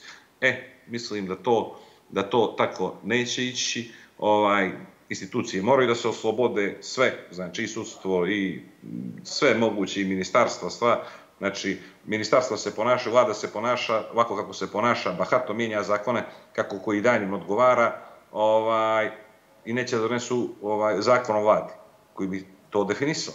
Dakle, i mjesto, i mjesto mi danas u Budvi, da imamo sjednicu gdje ćemo se zadužiti, ne za vraćanje dugova i brdotina vlade Crne Gore njenih garancija, jer su oni išli tamo da se slikaju na ta otvaranje i tako dalje, nego da se zadužimo nekih 15-20 miliona evra da pomognemo komunalnom preduzeću, vodovu, da smanjimo račune za 50%, da pomognemo male hotelijere, jeste li imali, ljude koji su jeste li, evo, privatnike koji su... Vi ste, vi ste na vlasti skoro četiri godine, jeste li imali vremena da se pozabavite bilo čime od toga? Izvinjavam se. Jeste li vi bili na vlasti, i u stvari, evo, vi kažete, vi ste još na vlasti. A, sad sam vas slušala, zvučite mi kao da ste opozicionar kao da ništa nijeste imali sa bilo kojom odlukom koja je donešena u Budi u posljednje skoro četiri ne, godine. Ne, ne, dozvolite, niste me razumijeli. Ja kažem, mi se danas, mjesto da se bavimo, da pomognemo privredi ovako kakva jeste zbog korone, Budi ne treba pomoć ni od koga. Vlada Crne Gore u Budu nije uložila cent jedan, a uzima samo na takse i poreze 120 do 130 miliona godišnje. ni u školstvo, ni u zdravstvo, to se opština ulaže novac, što nije normalno. Ja kažem, mjesto da se mi danas u Skupštini Budve, Skupštini opštini, podignemo neki kredit da, kako bi se zadužili da pomognemo naša javna preduzeća. Zbog korone ljudi nemaju novca da plate smeće, nemaju novca da plate vodu. Da li, me, da li me razumijete? Oni nas blokiraju sa njihovom brljotinom od 30 miliona eura. To je jedan sraman, sraman ovaj, ovaj način vlade Crne Gore koja se odnosi prema, e, mogu slobodno naći, finansijski najmoćnijoj opštini, i to smo pokazali da opština Budva e, je izuzetno solventna opština, kada se mnogo radi, kada se ne krade, ovaj, da novca ima, da se projekti rade. Mi smo vlast koja je 40 km puteva napravila, nekoliko kružnih tokova, igrališta za djecu, e, kanalizacijonih ispusta, atmosferskih ispusta. Znači, nije ovo sad nikakva politička propaganda, ovo su činjenici, to građani Budve vidite. Pa zvuči, zvuči, zvuči kao dio kampanje. Krsto, za vas pitanje ima i moj kolega Džavdet Pepić. Džavdete. Izvolite, izvolite. Hvala. Dobro večer. Pozdrav. Ono, ono što mi možda smetalo kod vas jeste malo da ste otvorili prostora u prepucavanju između samih koalicijonih partnera u samoj Budvi i da ste na neki način dali vi materijala. Mislim da ste trebali to prije da stanete, ali kad pričamo o, imam konkretno pitanje za, za vas oko Budve. Zašto se ne iznose još uvijek podaci? Jer malo mi je sumnjivo da je DPS vlast samo toliko oštetila sami grad Budvu. Koliko ja imam informacija, radi se u puno, puno većoj e, cifri. I ono što moram da vas pitam, ne osuđujući sada odbornike Crnogorske, ali hoću da vas pitam koliko su neki ljudi koji su osnovali tu Crnogorsku možda imali udjela u tim nekim, da tako kažem, igrama? Evo, hvala vam, hvala vam i veliki pozdrav za vas. Evo što se tiče one prve vaše konstatacije, smo se između sebe malo e, svađali, sigurno mi imamo, mi smo različite partije sa različitim programima, sa različitim pristupima i sigurno da je tu dolazilo do, do, do, do, do, do, do trzavica i nama svojste način demokrate, mi nismo baš neko onako koji prećuti, probamo pa onda možda javno i previše odreagujemo, ali rekli smo što smo mislili, ja sam to rekao i također u svom ekspozeu, svađali smo, međutim, dosta svih je čutalo. Mi nismo čutali, kad smo smatrali da treba, mi smo se ogradili. Možda je to bilo krivo, možda je bilo pravo, morate shvatiti i nas, mi smo mlada partija, nemamo neko političko iskustvo preveliko, ali smatram da smo postupali časno, iskreno, da smo uvijek stvari neke nazivali ovaj, pravim imenima. Dakle, što se tiče, što se tiče, uh, izvinjavam se, uh, E, što se tiče novca, e, e, dugova i tako dalje, tu sam potpuno saglasan. Mnogo, mnogo više novca je iznešeno iz, iz, iz, iz Budve i, i, i opljačkano, ali tu imamo problem. Ovi, ovi, ovo što je tužilaštvo završilo i što je, što je uradilo, vjerujte da sad ima 10 sporova koje tužilaštvo vodi izviđaja. Evo, na, recimo, navešću jedan, recimo, šetalište u Petrovcu, koje je sa 2,5 miliona došlo na 8,4. Dakle, dakle, dakle, tužilaštvo to, ja mislim, evo, 8-9 godina istražuje. E, ja sam kao predsjednik Skupštine, od kad sam stupio na to mjesto, poslao, mislim, jedno deset urgencija, ne samo prvo što me interesovalo šta je sa tim predmetom, hoće li neko odgovarati, a druga stvar, da li mi kao lokalna vlast možemo da, da završimo recimo to šetalište, da ne bismo bili prosto u nekoj koliziji sa istragom i tako dalje.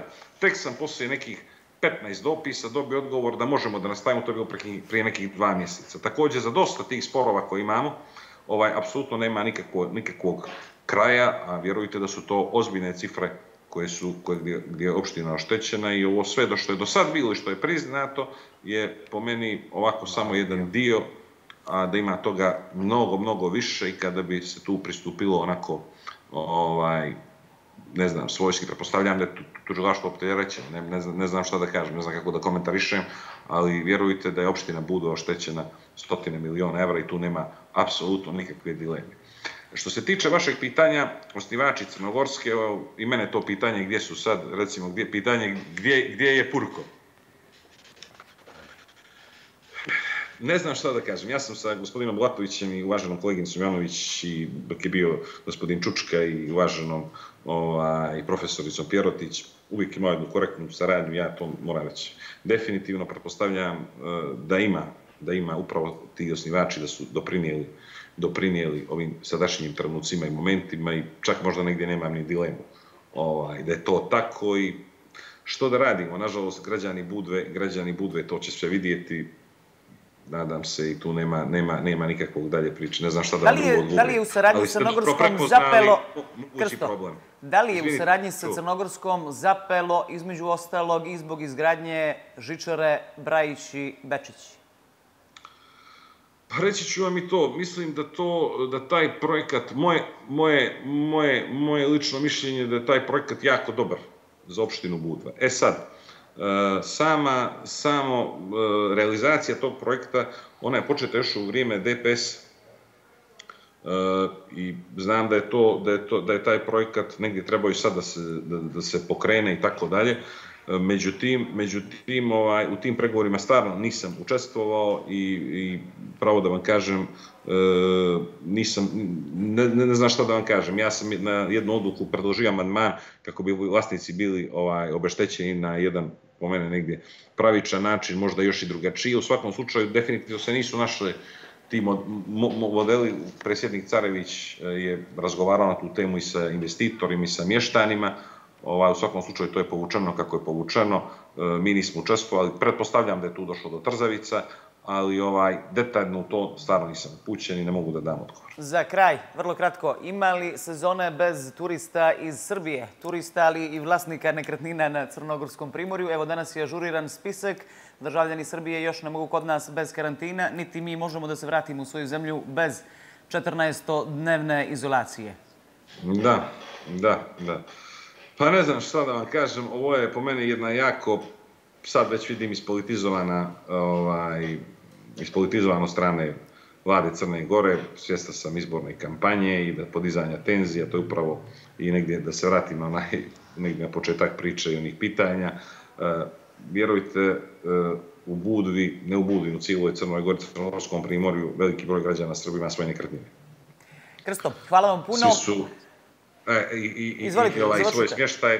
Ovo je potpuno ispolitizovano. Ovaj, očekujem da će se to u što kraćem roku ovaj, osloboditi i da se neće sa takvim stvarima trgovati. Mi opet funkcionišemo između država ovaj, kako funkcionišemo. DPS nije država, ova, ovu državu, ova država je narod. Bitno je kako narod jedan između drugog funkcioniše, a politike to ne treba da brinemo o tome.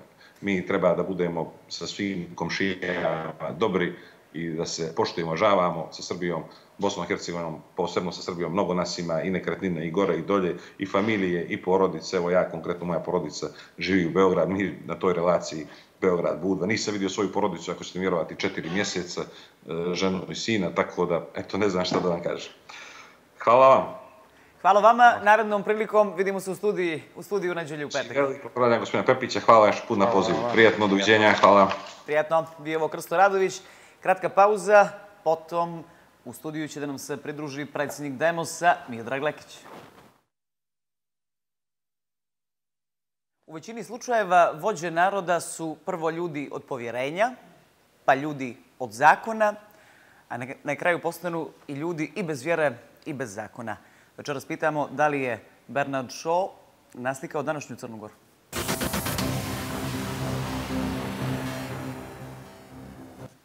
Gospodine Lekiću, a, kakve utisak imate nakon naslova ove teme? Viđela sam, nasmijali ste se.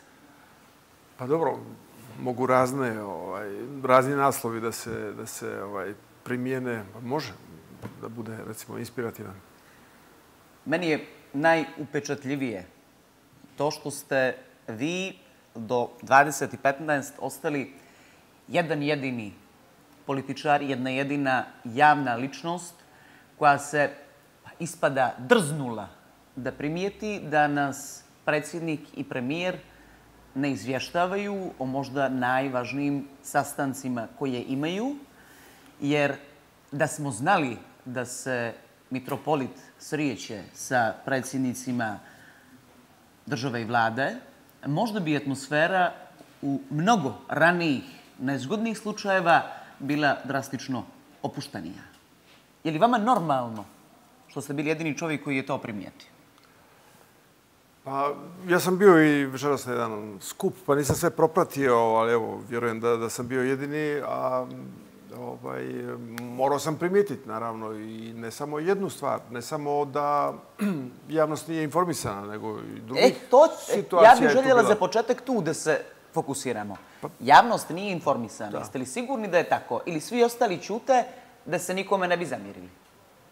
Pa ja ne znam sad, ostale ne bih ovaj, komentarisao, meni je činjenica ova bila mm, upečatljiva, je li da se to jednom nepodnošljivom lakoćom ovaj, odvijaju ti sastanci i da se istom tom lakoćom e, građani ne informišu ili se informišu onoliko koliko misle da ostvara efekat. Ovaj, tako da, da prvi mak se pomislilo da je to bilo juče ili danas, pa je, međutim, to nije bilo, to bilo prije nekoliko dana. Ovaj.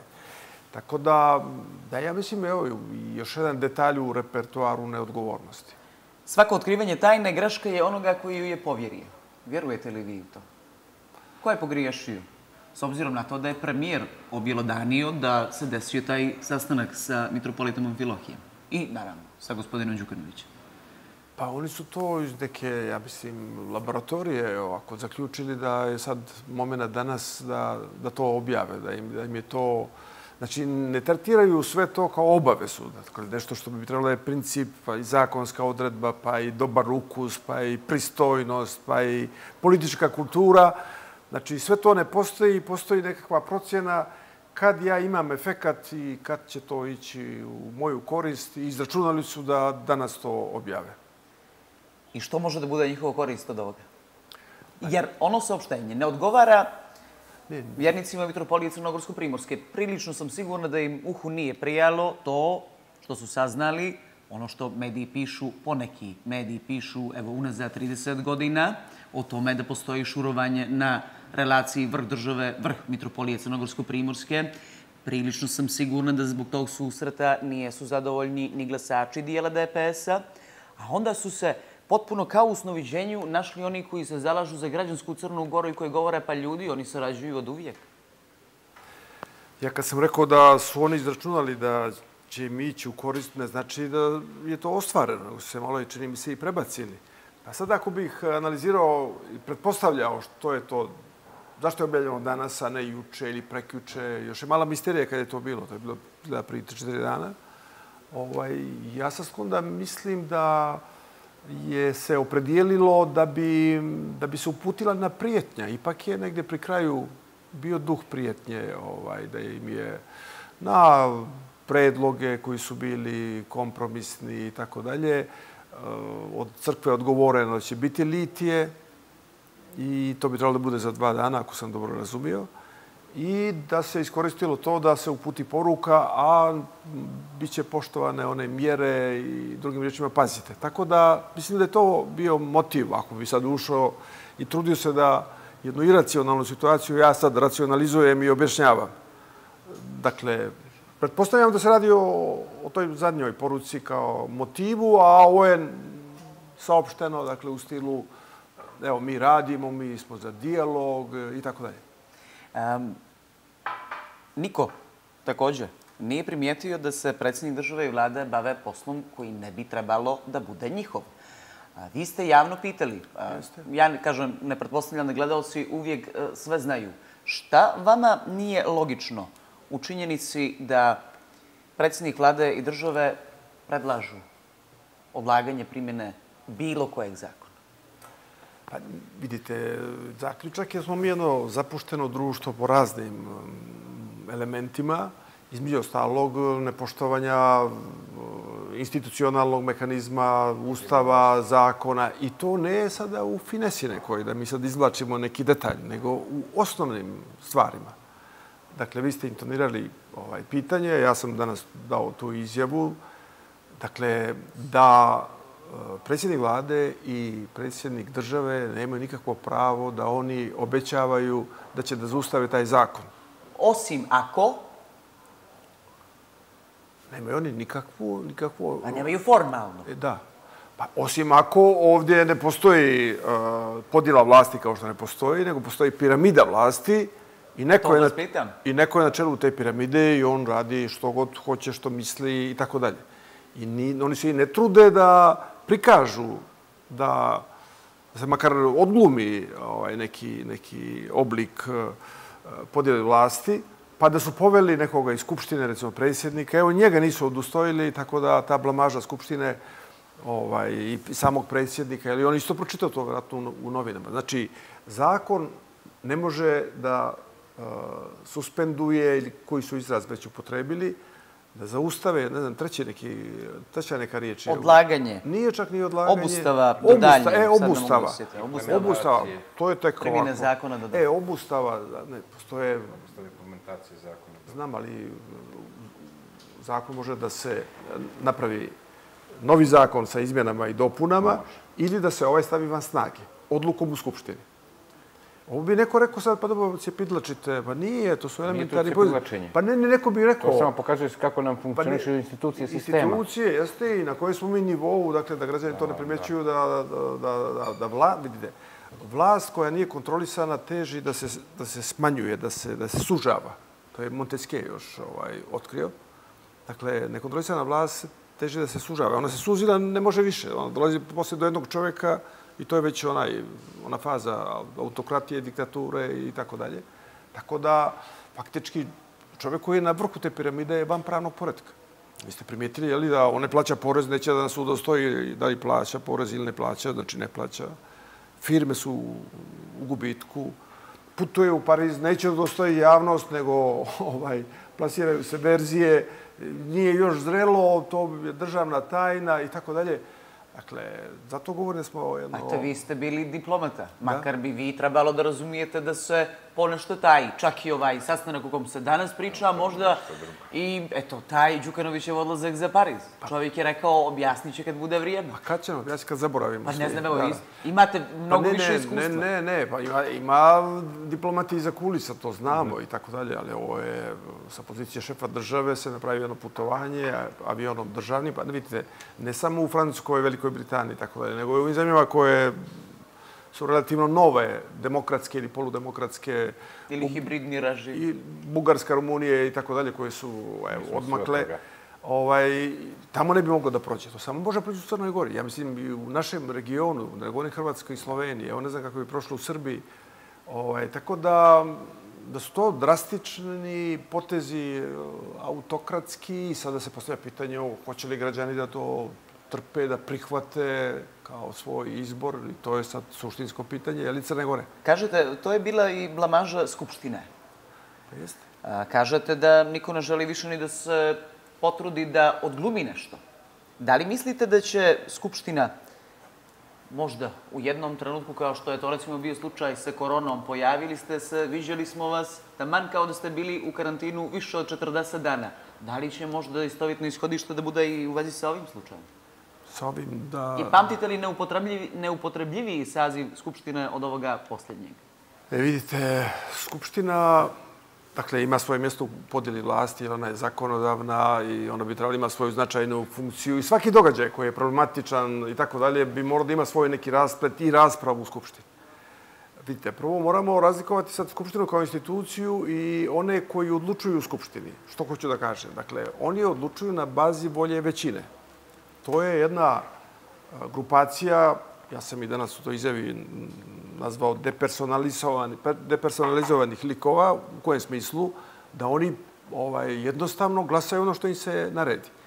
Tako da se postavlja pitanje, pa čekaj, vi ste u Skupštini, zar ne činite dio toga? Skoro da ste htjeli da mi pitate, jel tako? Evo, ja vam pomažem. Ne, ne, ovaj. ne, ne. Ne, ne, pa ne, evo, ja pomažem i postavljam sebi pitanje, teško, je li? Pa ne, ne, isto mislim da, da opozicija, uz respekt prema onima koji su odlučili da bojkotuju, ipak Skupština omogućava onaj kanal, jedan direktan prema građanima. Da se građanima kaže istina. Da se kaže istina. A ovamo je, dakle, jedna mašina koja glasa, evo danas smo imali, večera smo imali ovu raspravu, religija, filozofija, politika, nismo bili abstraktni, bili smo ovako i... Konkretni? Konkretni, jeste. Pa o, oni nekada, skupštinska većina u Crnoj Gori, ona liči na sekularno sveštenstvo. Oni dobiju liniju, dogmu i oni bez razmišljanja glasaju, a dogma krene iz hrama, dakle iz e, glavnog odbora. E, e, na čelu je patrijarh koji je neprikosnoven i tako dalje. Mislim, sad malo forsiram ovu analogiju kao kritičku, da, da, da djeluju kao, kao sekularno sveštenstvo i glasaju što im se tamo naredi. Tako da, evo, malo sam opširan, znam, ali hoću da kažem da, da ta, e, ta neautonomnost Skupštine proističe dakle, iz e, jedne većine koja smatra, i to je rekao jednom predsjednik Skupštine, i to je problem, problem i političkog obrazovanja, između ostalog. A to je, mi smo većina i mi, mi radimo, radimo što, što hoćemo. hoćemo. Kad budete vi većina, vi radite što hoćete. E tu je, tu je e, elementarni privid funkcionisanja političkog sistema i pojmanja demokratije. Ali Nije ja tačno... moram da se umiješam, izvinjavam se. Da. Stvarno, Skupština nema samo tu zakonodavnu ulogu. Ali ono što je u najveći problem u Crnoj Gori, što Skupština uopšte ne pokušava da ima tu kontrolnu ulogu u mnogim stvarima. I zato nam se dešavaju ove stvari. Praktično, kao da se ti poslanici plaše da uhvate, ajde tako ću reći, vruć krompir rukama. Znači, uloga Skupštine ne samo zakonodavna, nego kontrola. Tu kontrolnu ulogu praktično E, Skupština Crne Gore ne vrši. Kada kažem Skupština Crne Gore, mislim na većinski dio.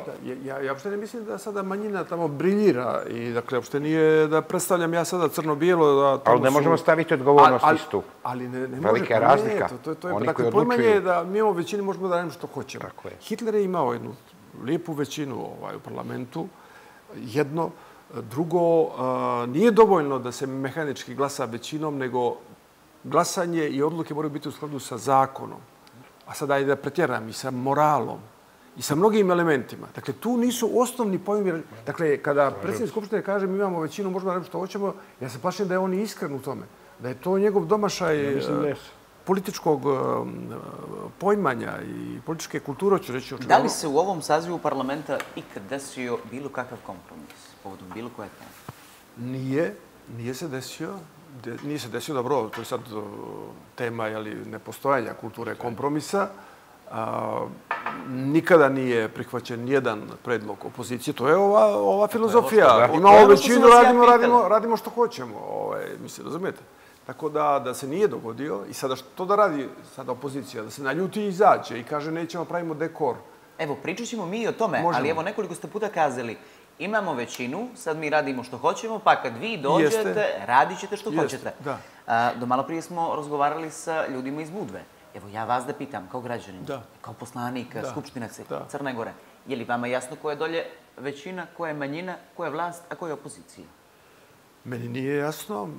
Ovaj, naravno, ovaj, sad imamo taj, taj dualizam, ovaj, da to nije rašićena situacija, mislim. Dakle, A moram da se umišljam. Ja, ja... se šalje jedna veoma opasna poruka. Evo uzmimo Budu, uzmimo Kotor. Da. Da, da, da kupovina, ajde neću da kažem, prebacivanje s jedne na druge strane, ruši onaj prvi izborni princip volju građana. Znači, kada se glasa, ako je 17, jer kažu u Budvi je bilo 17, 16. Sada, jedan čovjek prešao, ovi su postali 17. Da li se time ukazuje da ono što se kaže da demokratija, demokratski principi, umjesto da napredemo po tom pitanju, sve u više i više u Crnoj Gori, ajde, počinju da gube. I zašto, zašto ovo kažem? Da li može, da li ja imam pravo kao čovjek, ako se nađem na listi, na primjer, ne znam koje partije, da se jutra promijenim i da kažem hoću da sačinim neku drugu većinu. Zbog čega to kažem? Koliko ja znam, kod nas su partije i ko zna koliko čiji glas tu nosi. Mene to pitanje veoma mi je bitno, gospodine Lekiću, i pitanje ono što smo mi najviše možda izgubili u ovom vremenu više stranačja, pitanje etike, pitanje morala. Kod nas se ljudi ne stidi i pokušavaju da objašnjavaju nešto ne objašnjimo. Mene je smiješno objašnjenje, šaljemo poziciju otvorene liste, a ne onima koji su većina.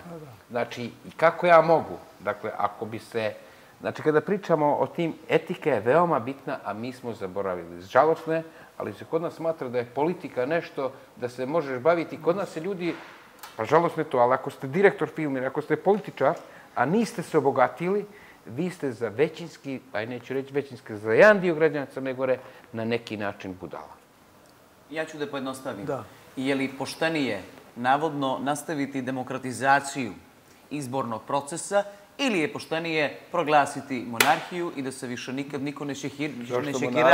Pa, eto, bilo kakvu vrstu nekakve diktature i da kažemo doviđenje, evo nijesmo sposobni ni za šta.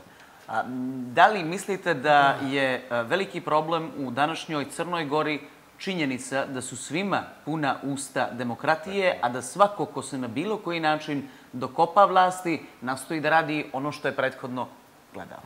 Pa jeste, problem je, jeste. Ljudi su savladali retoriku evropsku, a praksa je antievropska.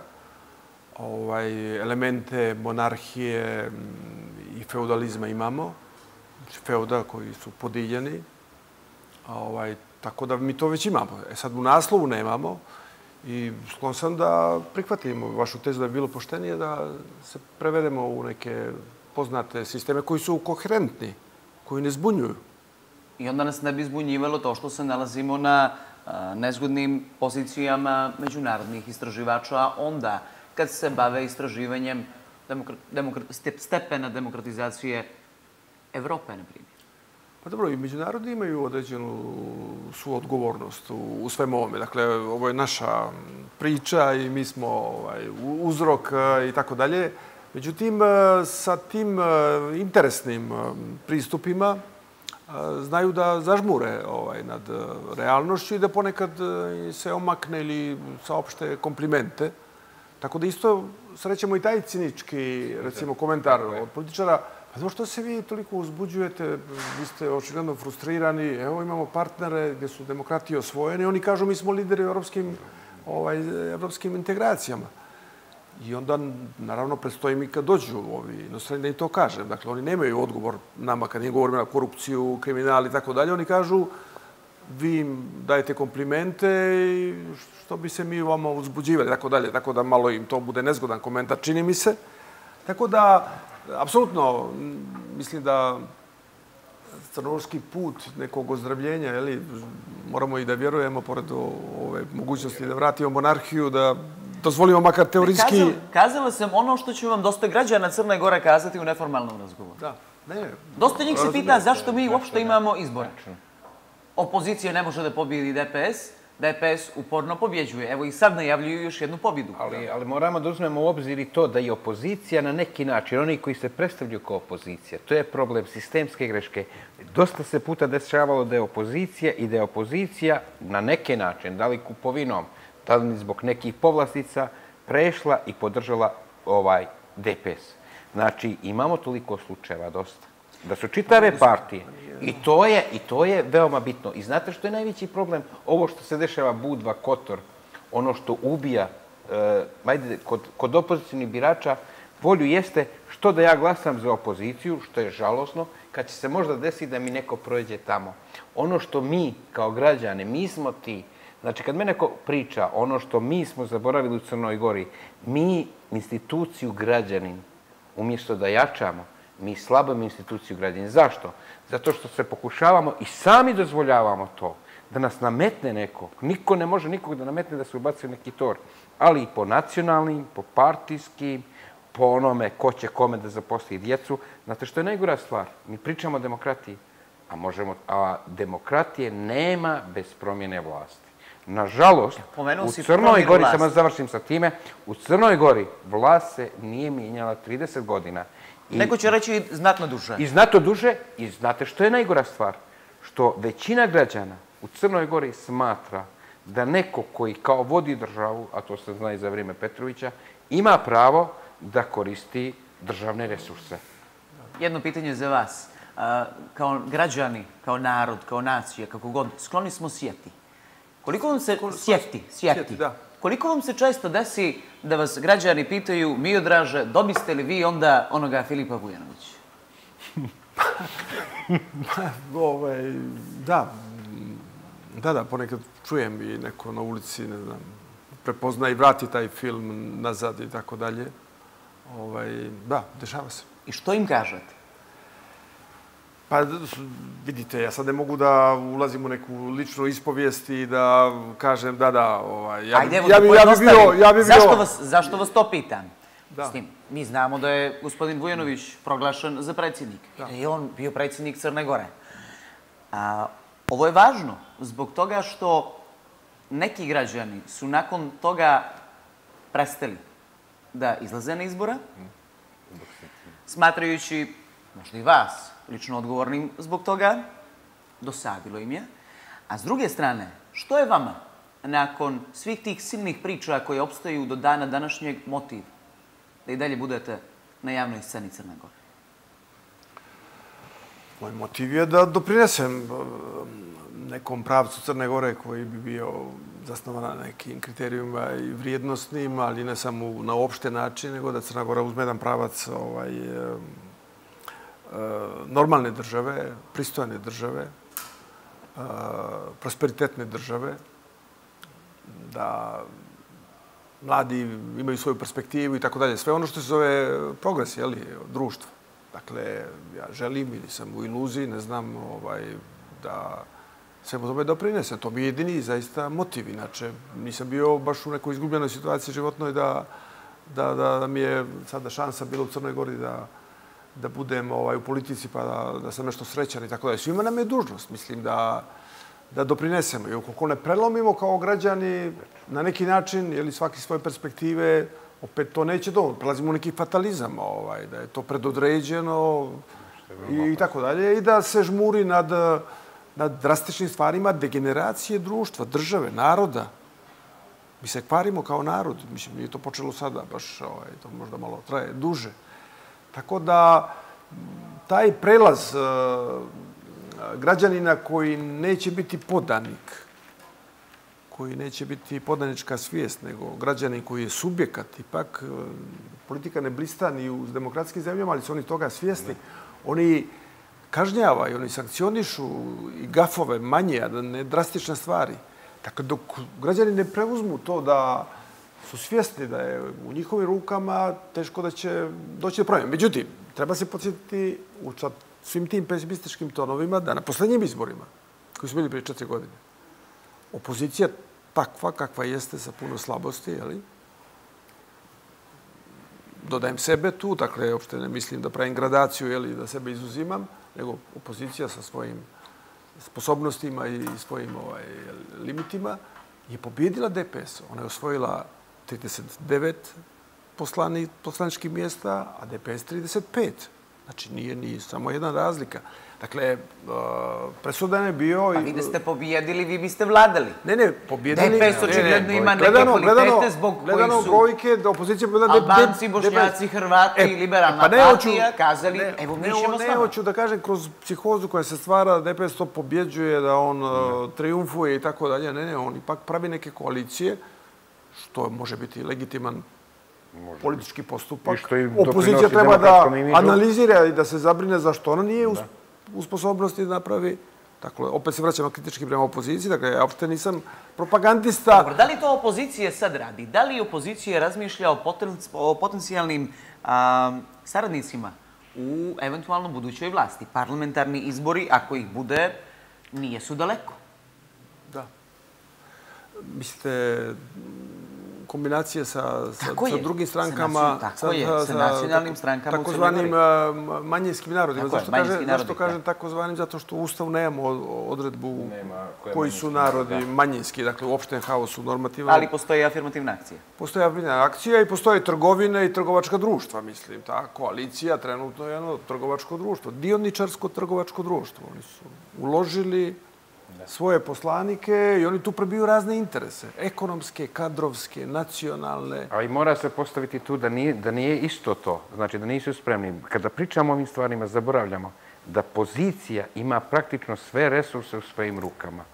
I to je i to je jedan veliki problem. Znači, zašto pa šta se... misliš, zašto se ovako lome koplja zato, pa zato i u Budvi? Pa zato se baš lome i Budva, i Kotor, i sve te stvari. Ali, ako bi se ali nije, nije DPS i nije gospodin Đukanović toliko jak koliko smo mi kao građani slabi, da je 30 godina sve pozlatio, vrijeme da se promijeni.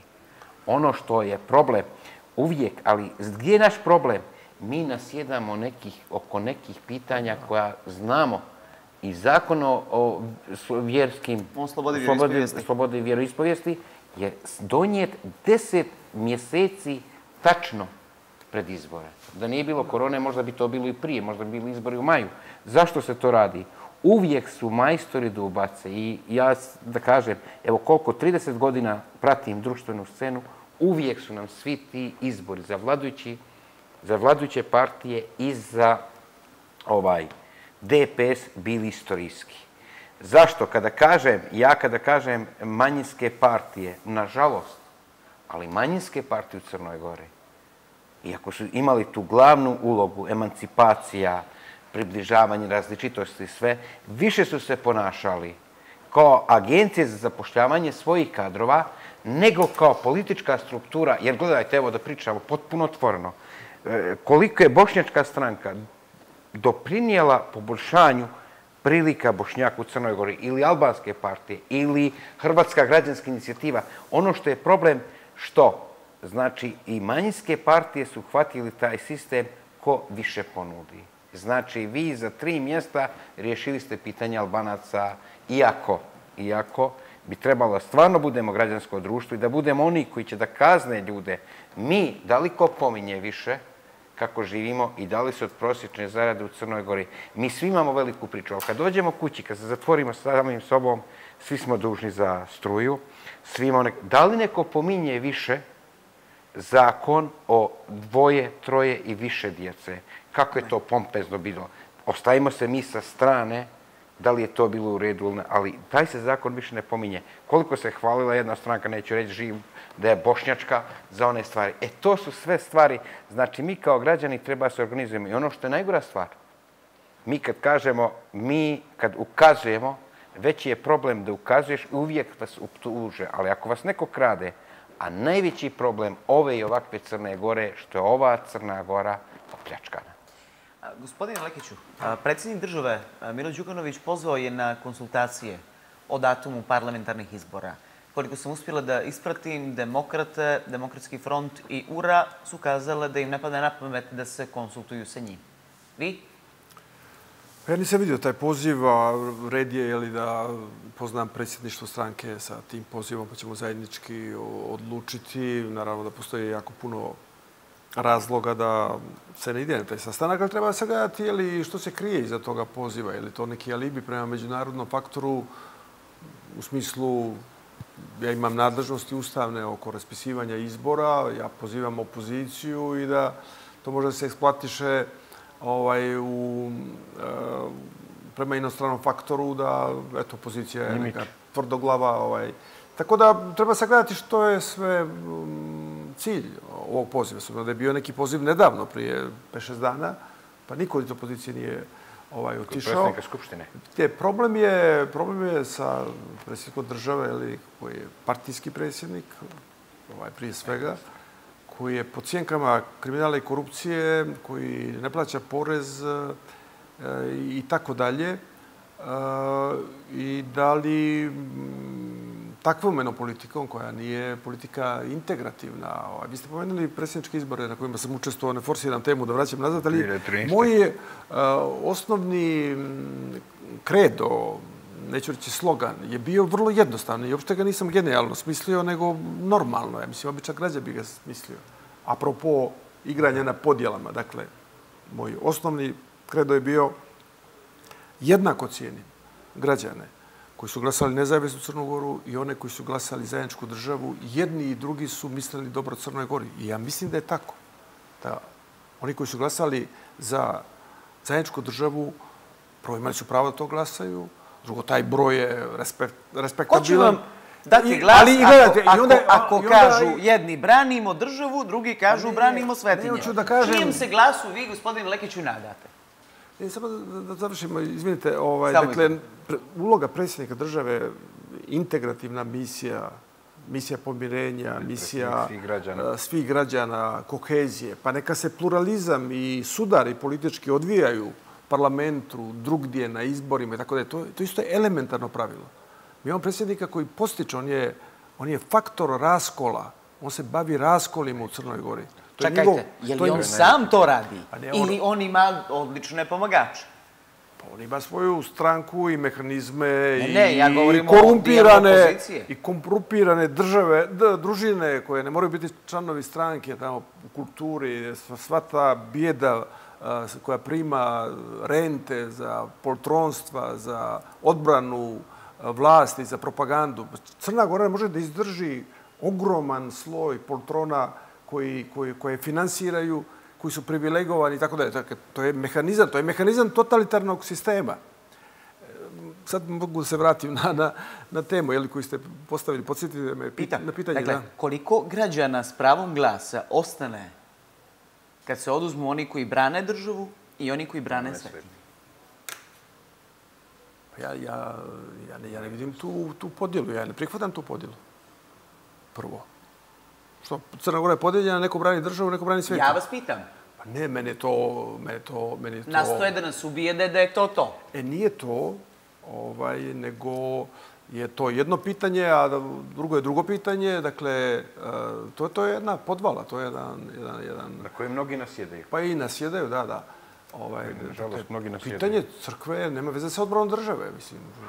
Ovo je... Kako Ako, ako otvaramo, ako da otvaramo, se otvaramo? Jer ako ja želim da čujem od vas. Ako otvaramo temu Ne, zakona... nego, ja želim od vas da čujem čemu mogu da se nadaju pojedinci i političke stranke na predstojećim izborima Da. koji će da zagovaraju stav. Cijenim jednako i one koji idu na litije i one koji ne idu na litije. Cijenim jednako one koji su glasali da 2006. kao i one koji su glasali ne Jeste. 2006. Jeste. Cijenim one koji su za zakon o slobodi vjeroispovijesti kao i one koji su protiv njega. Dobro, jeste. Čemu mogu da se nadaju političari koji budu zastupali takvu politiku? E, ja ne znam, vidite, uh, neko će reći da treba se svrstati i otići u neki ekstrem. Ja nemam namjeru. Ja vodim stranku koja je, ne saopštavam sad propagandistički, nije mi to običaj, vidim da mnogi to lakoćom rade i uvježbano rade. Neću ništa reći protiv moje stranke, ali hoću da kažem da je ona koncipirana istinski, građanski, da je ona centar, vrlo svjestan da tog centra nema u tradiciji Crne Gore, da nam to nije jača strana, ali neko treba da pokuša. Ja mislim da je to put emancipacije Crne Gore. Tako da, Da li vjerujete da bi na predstojećim izborima mogla da se desi u ponudi jedna građanska koalicija? pa nije, nije nemoguće. Nije nemoguće. To je, vidite, uh, pluralizam u opoziciji ne mora biti negativna stvar. Ako postoje ideološke razlike, a postoje. I u tom smislu, u tom smislu moguća je varijanta jeli, stvaranja građanskog bloka ako stranke koje su takve jeli, nađu svoje, e, svoje razloge, interese i tako dalje. Pri čemu ja stvarno mislim da interes stranaka ne bi smio da bude iznad opšteg interesa, da ga moramo sagledavati, pri tome stranka koju vodi će se prilagoditi, dakle, tom opštem interesu. Sad, u kojem obliku će to biti, ja sad ne bih mogao znati. Tim prije što smo mi u jednoj situaciji kad se ne zna će tih izbora biti, hoće li se opšte bojkotovati, jer svi elementi govore da je i to jedna opcija koja je Koji svi elementi upućuju na to da bi opozicija mogla da bojkotuje izbore? pa da jednostavno nema uslova za fair izbore, odnosno vrlo daleko od tih e, uslova. E, Znači, da sve ne nabrajam, jeli, manjkavosti koje, koje postoje. Tako da, da, dakle, zlopotreba resursa, sad su doneli taj zakon da mogu i socijalna, socijalne pomoći da, da usmjeravaju. I u izbornoj dakle, godini. čitava ta korumpirana struktura ili koja, koja postoji, da skandal ili koji, da sva ta javna preduzeća, to su preduzeća koje vode e, stranke. Dakle, Monte Put je jedna stranka, aerodromi su druga, Druga stranka, stranka. Montenegro Airlines, treća stranka, Ministarstva. on, ministarstva, uprava, pa to je takav stepen degeneracije ovoga društva da stvarno nema elementarnih uslova, fair uslova za, za izbore, nego je to jedna hajdučija i pojmanje politike kao plijena. Plijena. Ovaj, i, I tako dalje. Tako da, da ne treba biti neki sad veliki analitičar da se zaključi da ekonomija je neodrživa sa brojem zaposlenih, brojem penzionera, struktura u, u zaposlenoj dakle, grupaciji koliko je u upravi, Struka dakle, se ne neproduktivni. Dakle, to, to ne može da izdrži nikako. Pa da ovi što rade još, tih malo što rade, pa da su ne znam kakvi udarnici stručnjaci, to ne može da bude pozitivan bilans. Znači, to je stanje ekonomije. Stanje funkcionisanja političkog sistema, ovo o čemu govorimo, ovaj, ove lagane uzurpacije, ovaj, jave danas, jeli, da su oni htjeli da zaustave taj zakon, a onda poslije se pređuje cirkus u Skupštini i ne znam kako se osjećaju. Bila je žalko u mojoj izjavi. Danas, kako se osjećaju ovi poslanici? Veoma su onako zapijenjeno, onako uzbuđeno, pretresali istoriju i smatrali da taj zakon o vjeroispovijesti, slobode vjeroispovijesti je iskorak, odbrana Crne Gore, države i tako dalje. Ovaj, sada njihovi šefovi kažu da ćete ga malo zaustave i tako dalje. I treba da im jave, e, sad ćete glasati drugačije. Mislim, tu dolazimo do, do bijede... Ništa novo politike i pojedinaca koji pristaju da budu dakle, marionete. Tako da, mislim, ja sad sam pomenuo ekonomiju, pomenuo sam politički sistem, mogu bi da nastavim um, podjele u Crnoj Gori na nacionalnoj osnovi. Mi smo u jedno društvo koje je feudalizovano. Vidite, ja sam bio prije dva dana gore na sjeveru. I tamo u, u, kafani u nekoliko kafana nema alkohola. Dan je bio, nije mi trebalo, nisam bio oštećen u, u tom režimu. Ovaj, međutim, tamo su uh, islamski zakoni, na, na, na, mislim, nisam nikad razmišljao o tome je li to možda zdravo organizati. Dakle, ne govorim naprijedno kritički, ali uočio sam da su tamo ti zakoni, nisu u svim kafana, posle sam primitio da ima negdje. E onda sam se spuštao i negdje od Murina do, dakle, prema Beranama, prema Bijelom polju, bile su trobojke u raznim ovaj oblicima, farban zid, neki balon i tako dalje. Znači, to je druga jedna realna crna. Sad govorimo o kulturnoj dimenziji, o dimenziji jeli, jedne države raspale po, po, po, po, po svim šavovima, pa i ovim kulturno-etničkim, da su to sve zatvorene sada grupacije. Ali elite su napravile interes da budu u koaliciji, da bi ostvarivali ova, ove, ove efekte zapošljavanja i svega toga. Tako da, trebala bi da emisija traje jako dugo, ja da dugo govorim i da budem vjerojatno dosadan u svemu tome, znači samo ovako improvizovano govorim o stanju ekonomije, stanju funkcionalnog političkog sistema, stanju uh, odnosa nacionalno-kulturni koji se zatvaraju, ovo nije, ova, ova zemlja nema minimum konsenzusa ni kulturnog, ni, ni, ni, ni, političkog, naravno. Tako da je ovo jedan provizorijum koji, koji će da pukne ovaj balon će da pukne. On će ekonomski da pukne, jer um, ovo zaduživanje, jeli, sad se sprema novo zaduživanje, tako da, vjerujte, svakome je obaveza, čini mi se, da, da nešto uradi, a i do, i do građa, i građanima također koji, koji moraju biti svjesni jeli, svoje odluke i svoje, svoje misije. Zašto pozivate građane na odgovornost? Malo prije ste kazali, evo razmišlja se i o bojkotu. Jedan srpski pa možda... pjesnik je rekao, ko se ne bavi politikom, najviše se bavi politikom. Nije, znate kako, politika... Politika, vidite, jedan, opet sad da ja citiram mnogo francuza, ovdje je rekao, politika nije sve, i dobro je što nije sve, ali je politika svuda. I ona jeste svuda. Svuda je, mislim, i ona determiniše objektivno život. To što je pred, politika pretvorena u jednu nemoralnu aktivnost i djelatnost, ne znači da, da je ona to samo.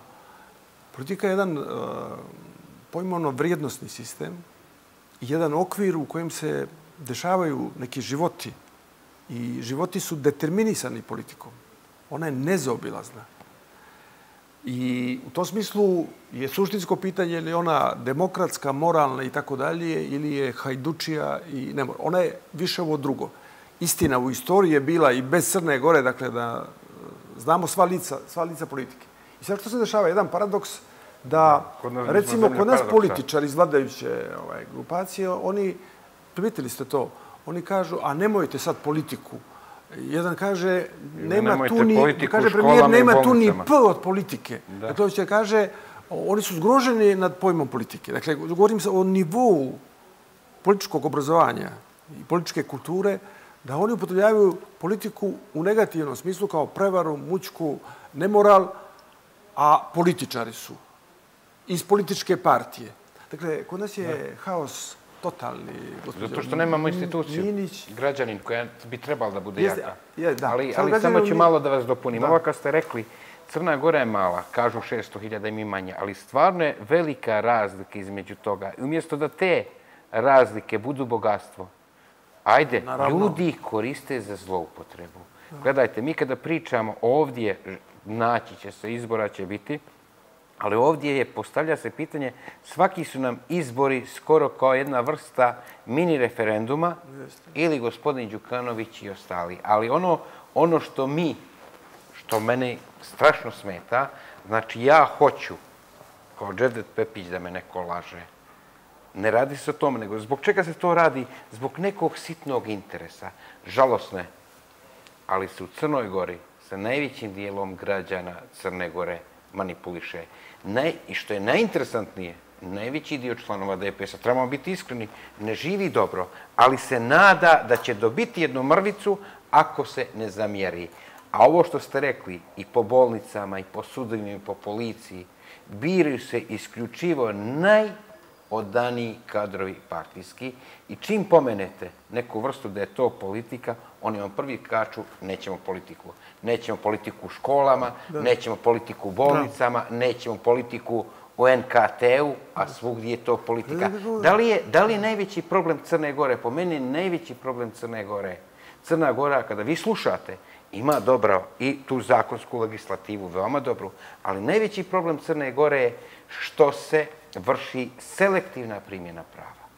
Znači, neće isto odgovarati kao neko koji se da li zamjeri ili ne, ali kada pričamo ono što bi trebalo da se shvati, ja mislim da ovu Crnu Goru mogu da izvuču ljudi iza kojih stoji dijela. Jer stvarno, toliko je ova Crna Gora. Da li je demokratija? Kod nas se kaže patriotizam. Ja znam dosta ljudi koji su patriote, koji drže ovako ruku, a koji zavlače ruku u džepu. Znam ljude koji duguju porez ovoj i ovakvoj Crnoj Gori.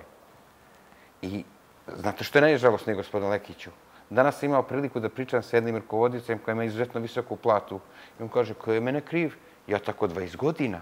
E, to je ono što je kod nas postalo nešto normalno. Ali kad gledamo, mi treba da se malo pozabavimo istorijom. Ovdje uvijek bila prva porodica najbogatija. Sjetimo se samo Petrovića.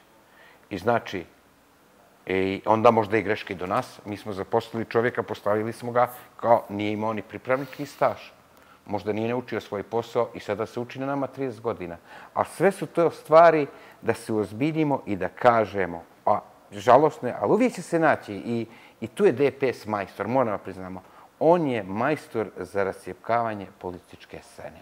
I uvijek će se naći neko ko će dati legalitet i legitimitet bilo kakvim izborima. I zbog toga mislim da je puno pametnije raditi na koheziji ljudi koji hoće ovu promjenu i koji hoće da vide Crnogoru. Ja nemam političke ambicije nikakvih, ali stvarno bi volio da živim u državi u kojoj moje dijete neće znati kako se zove predsjednik vlade. A ne, moje dijete zna svakog poslanika.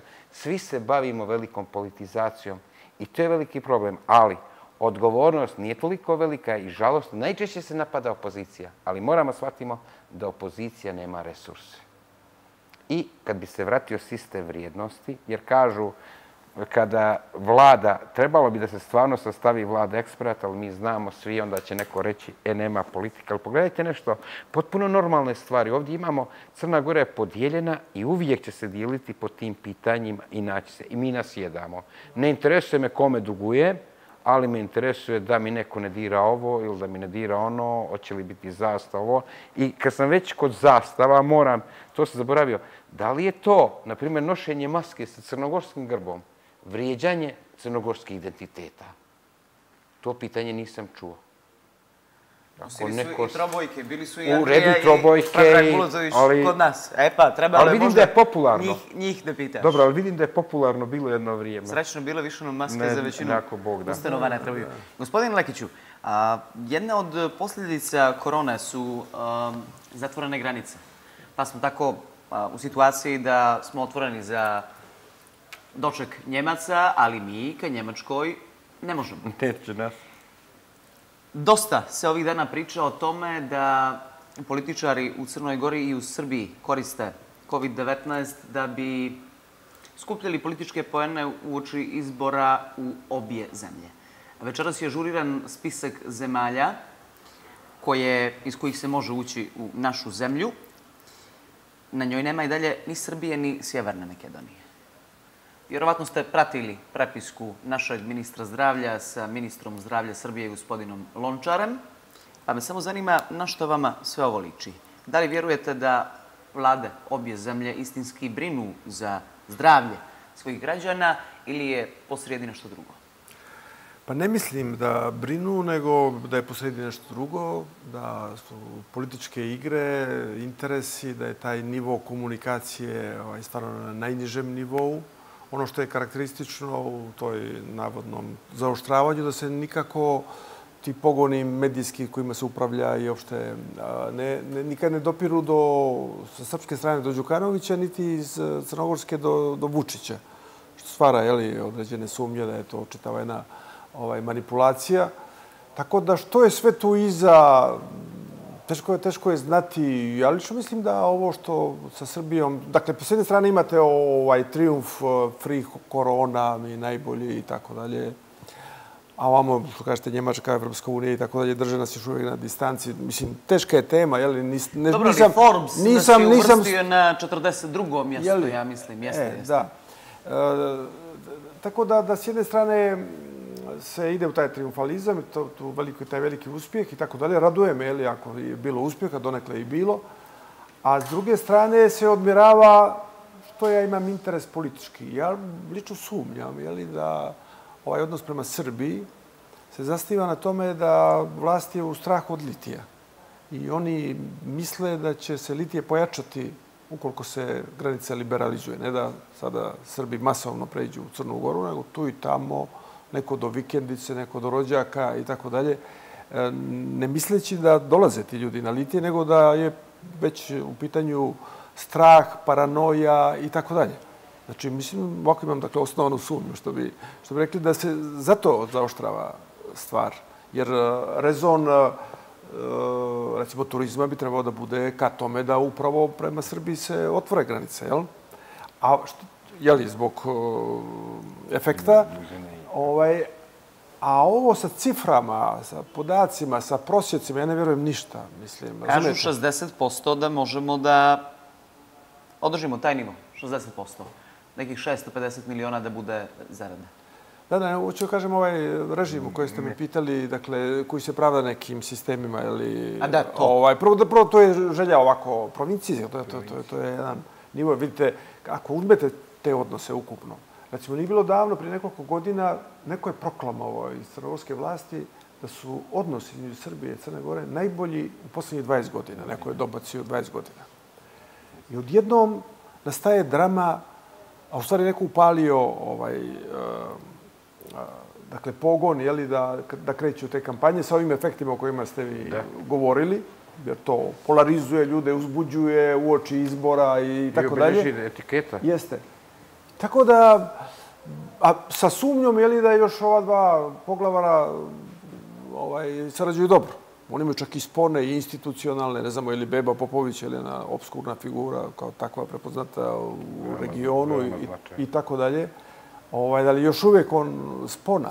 Onda imate takve neozbiljne izjave gdje se napadaju mediji uh, u Srbiji koji su tabloidni i ja u njima sve najgore mislim, tako da nije problem u tome, nego su to mediji koji su preseljeni bili ovdje, su tada služili, bila je baš evo, predsjednička ovaj, isto priča i tako dalje.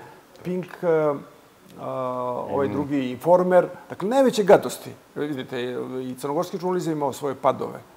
Ima ih još uvijek i tako dalje. Ali to dno koje je bilo preseljeno iz, iz, iz Srbije, a preseljeno akcijom elite vlasti, posuđena je jedna logistika, da ne govorim o detaljima kako su napadane i žene, divojke, najmonstruoznijim ovaj, pričam, sve je to prošlo i sada su se vratili nazad.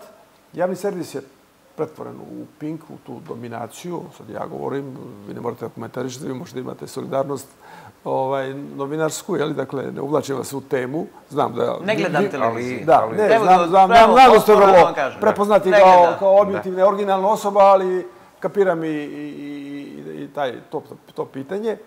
Uh, pretvoren dakle, mislim, su Pink i uh, sada odjednom uh, ovi koji su eksploatisali dakle, taj užas, taj tabloidni koji je bio iz Srbije, sad su oni ovdje kao sa pozicije neke superiorne sredine, kulturne, zgroženi i tako dalje. Pa koji je to nivo, mislim, koja je to seljačka, primitivna ovaj, politika? Ali, ali moram I, da se umješam, i, evo malo ćemo samo, samo da... da moram, završi, imam da, jedno da, pitanje da, za kraj da, za obojicu. Da. Da, da, dakle, hoću da kažem da, da kao što je i čitava istorija Srbije i Crne Gore pretežno dvorskog karaktera, da malo ko vidi ono što je suština, to je ta, ta inter, ali to znaju ljudi interakcija, koji čitaju. kulturna, ekonomska, rođačka i tako dalje.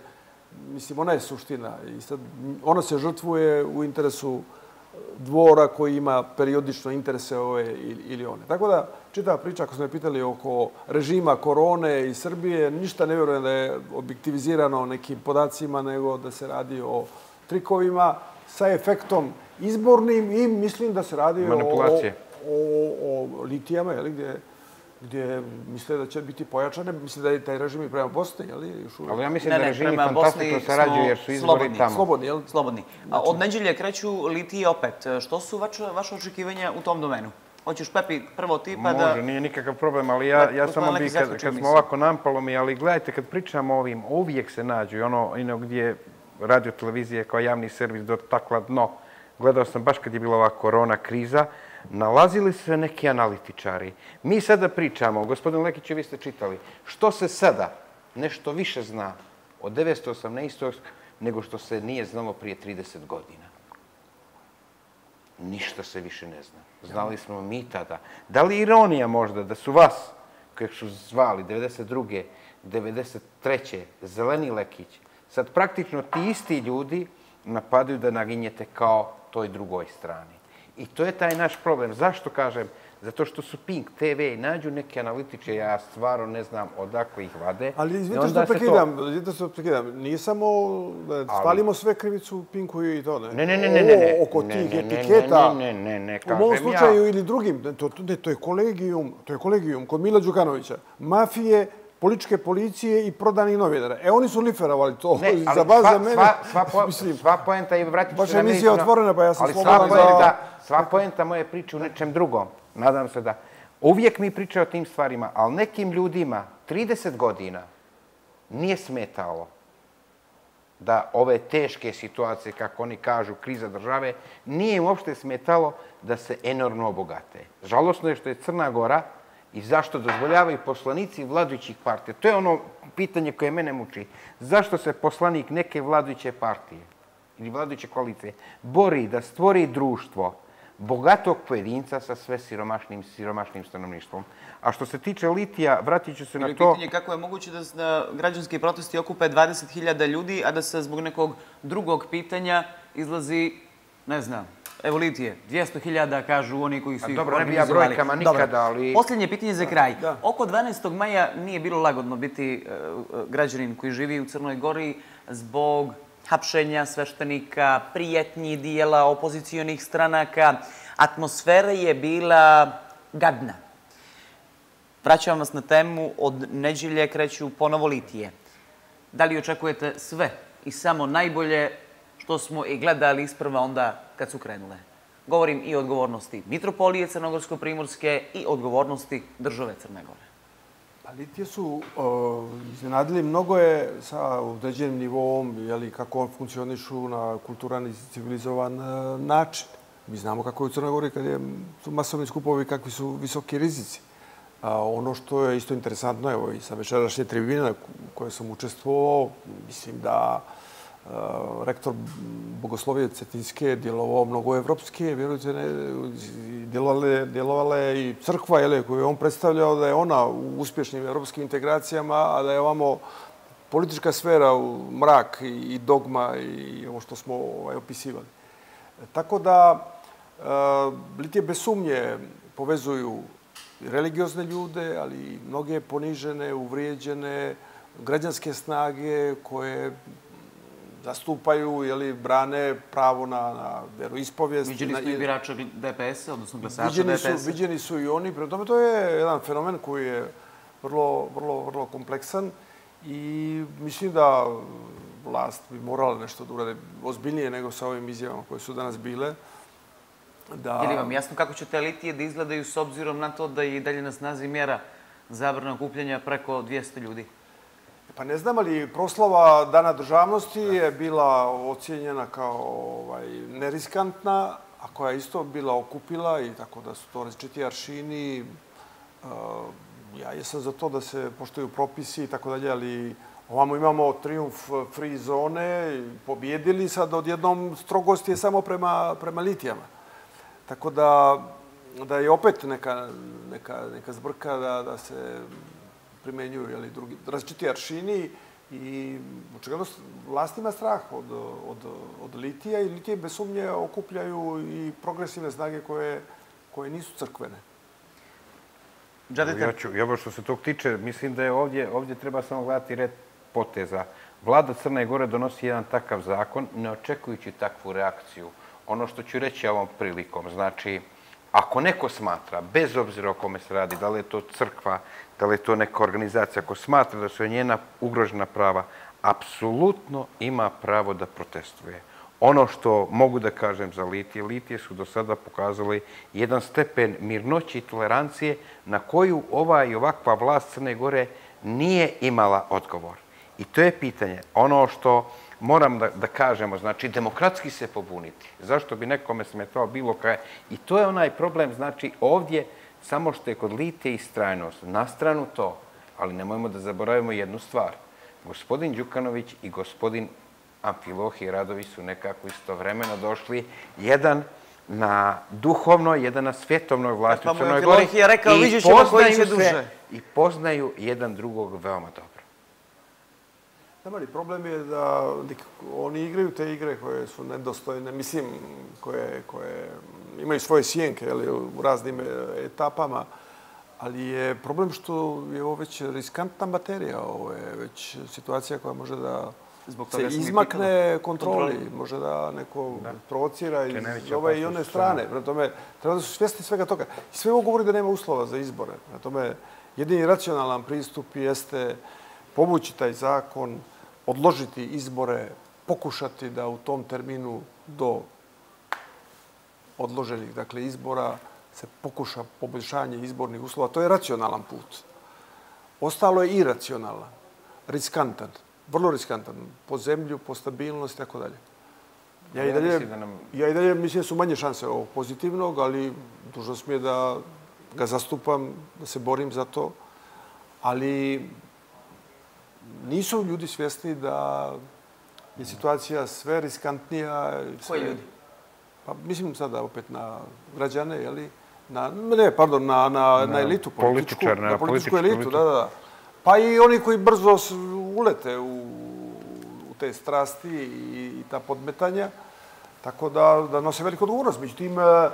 nije tu samo neznanje, to je dosta i smišljeno, planirano i tako da. Pa, valjda svakome jasno danas da je ovaj zakon lansiran da bi se sklonila koverta korupcije, zaduživanje zemlje, ekonomski krah, da se pomiri tema i pomjerila se i tu su uspjeli. Pomjerila se. Ali zaboravljaju da ako bude izbora i ako pozicija bude učestvovala, ali u ovom trenutku je više veća mogućnost, je li bojko tako, bude sloge u opoziciji, ali ono što bi morala biti poruka građanima, a to je, ako glasate DPS, glasali ste za kovertu. To treba da bude poruka izborna. Jer će se ponoviti koverta, pošto su koverte bile prije koverte, je li nam to sudbina ovaj, Crne Gore? Dakle, lopovluk, neodgovornost, tako dalje. Ja i dalje želim da vjerujem da nije. I u tom smislu progresivne snage u ovom trenutku treba da se na neki način okupe, pa i različite. E sada neko će reći... Šansa najveća. Molim? Da je najveća šansa da se okupe baš te različitosti, kad tako kaže. No, smo različiti, ali da imamo ono što, što hoćemo, da se iskreno borimo za demokratsko društvo. I znači, nikada neću dozvoliti sebi da budemo svi apsolutno isti. Baš možda u tim različitostima da se nađu ljudi, jer jedna druga strana, ako ćemo da se potučemo koliko ste vi krivi, toliko sam ja.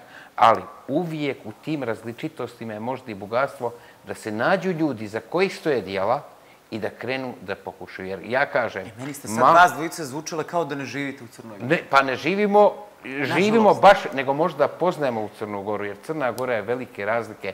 Te razlike ljudi zloupotrebljavaju. Znači, nemojmo da dozvolimo i ne treba da budemo svi isti, ali treba da se borimo za društvo bez ikakve demagogije, gdje ćemo biti svi jednaki.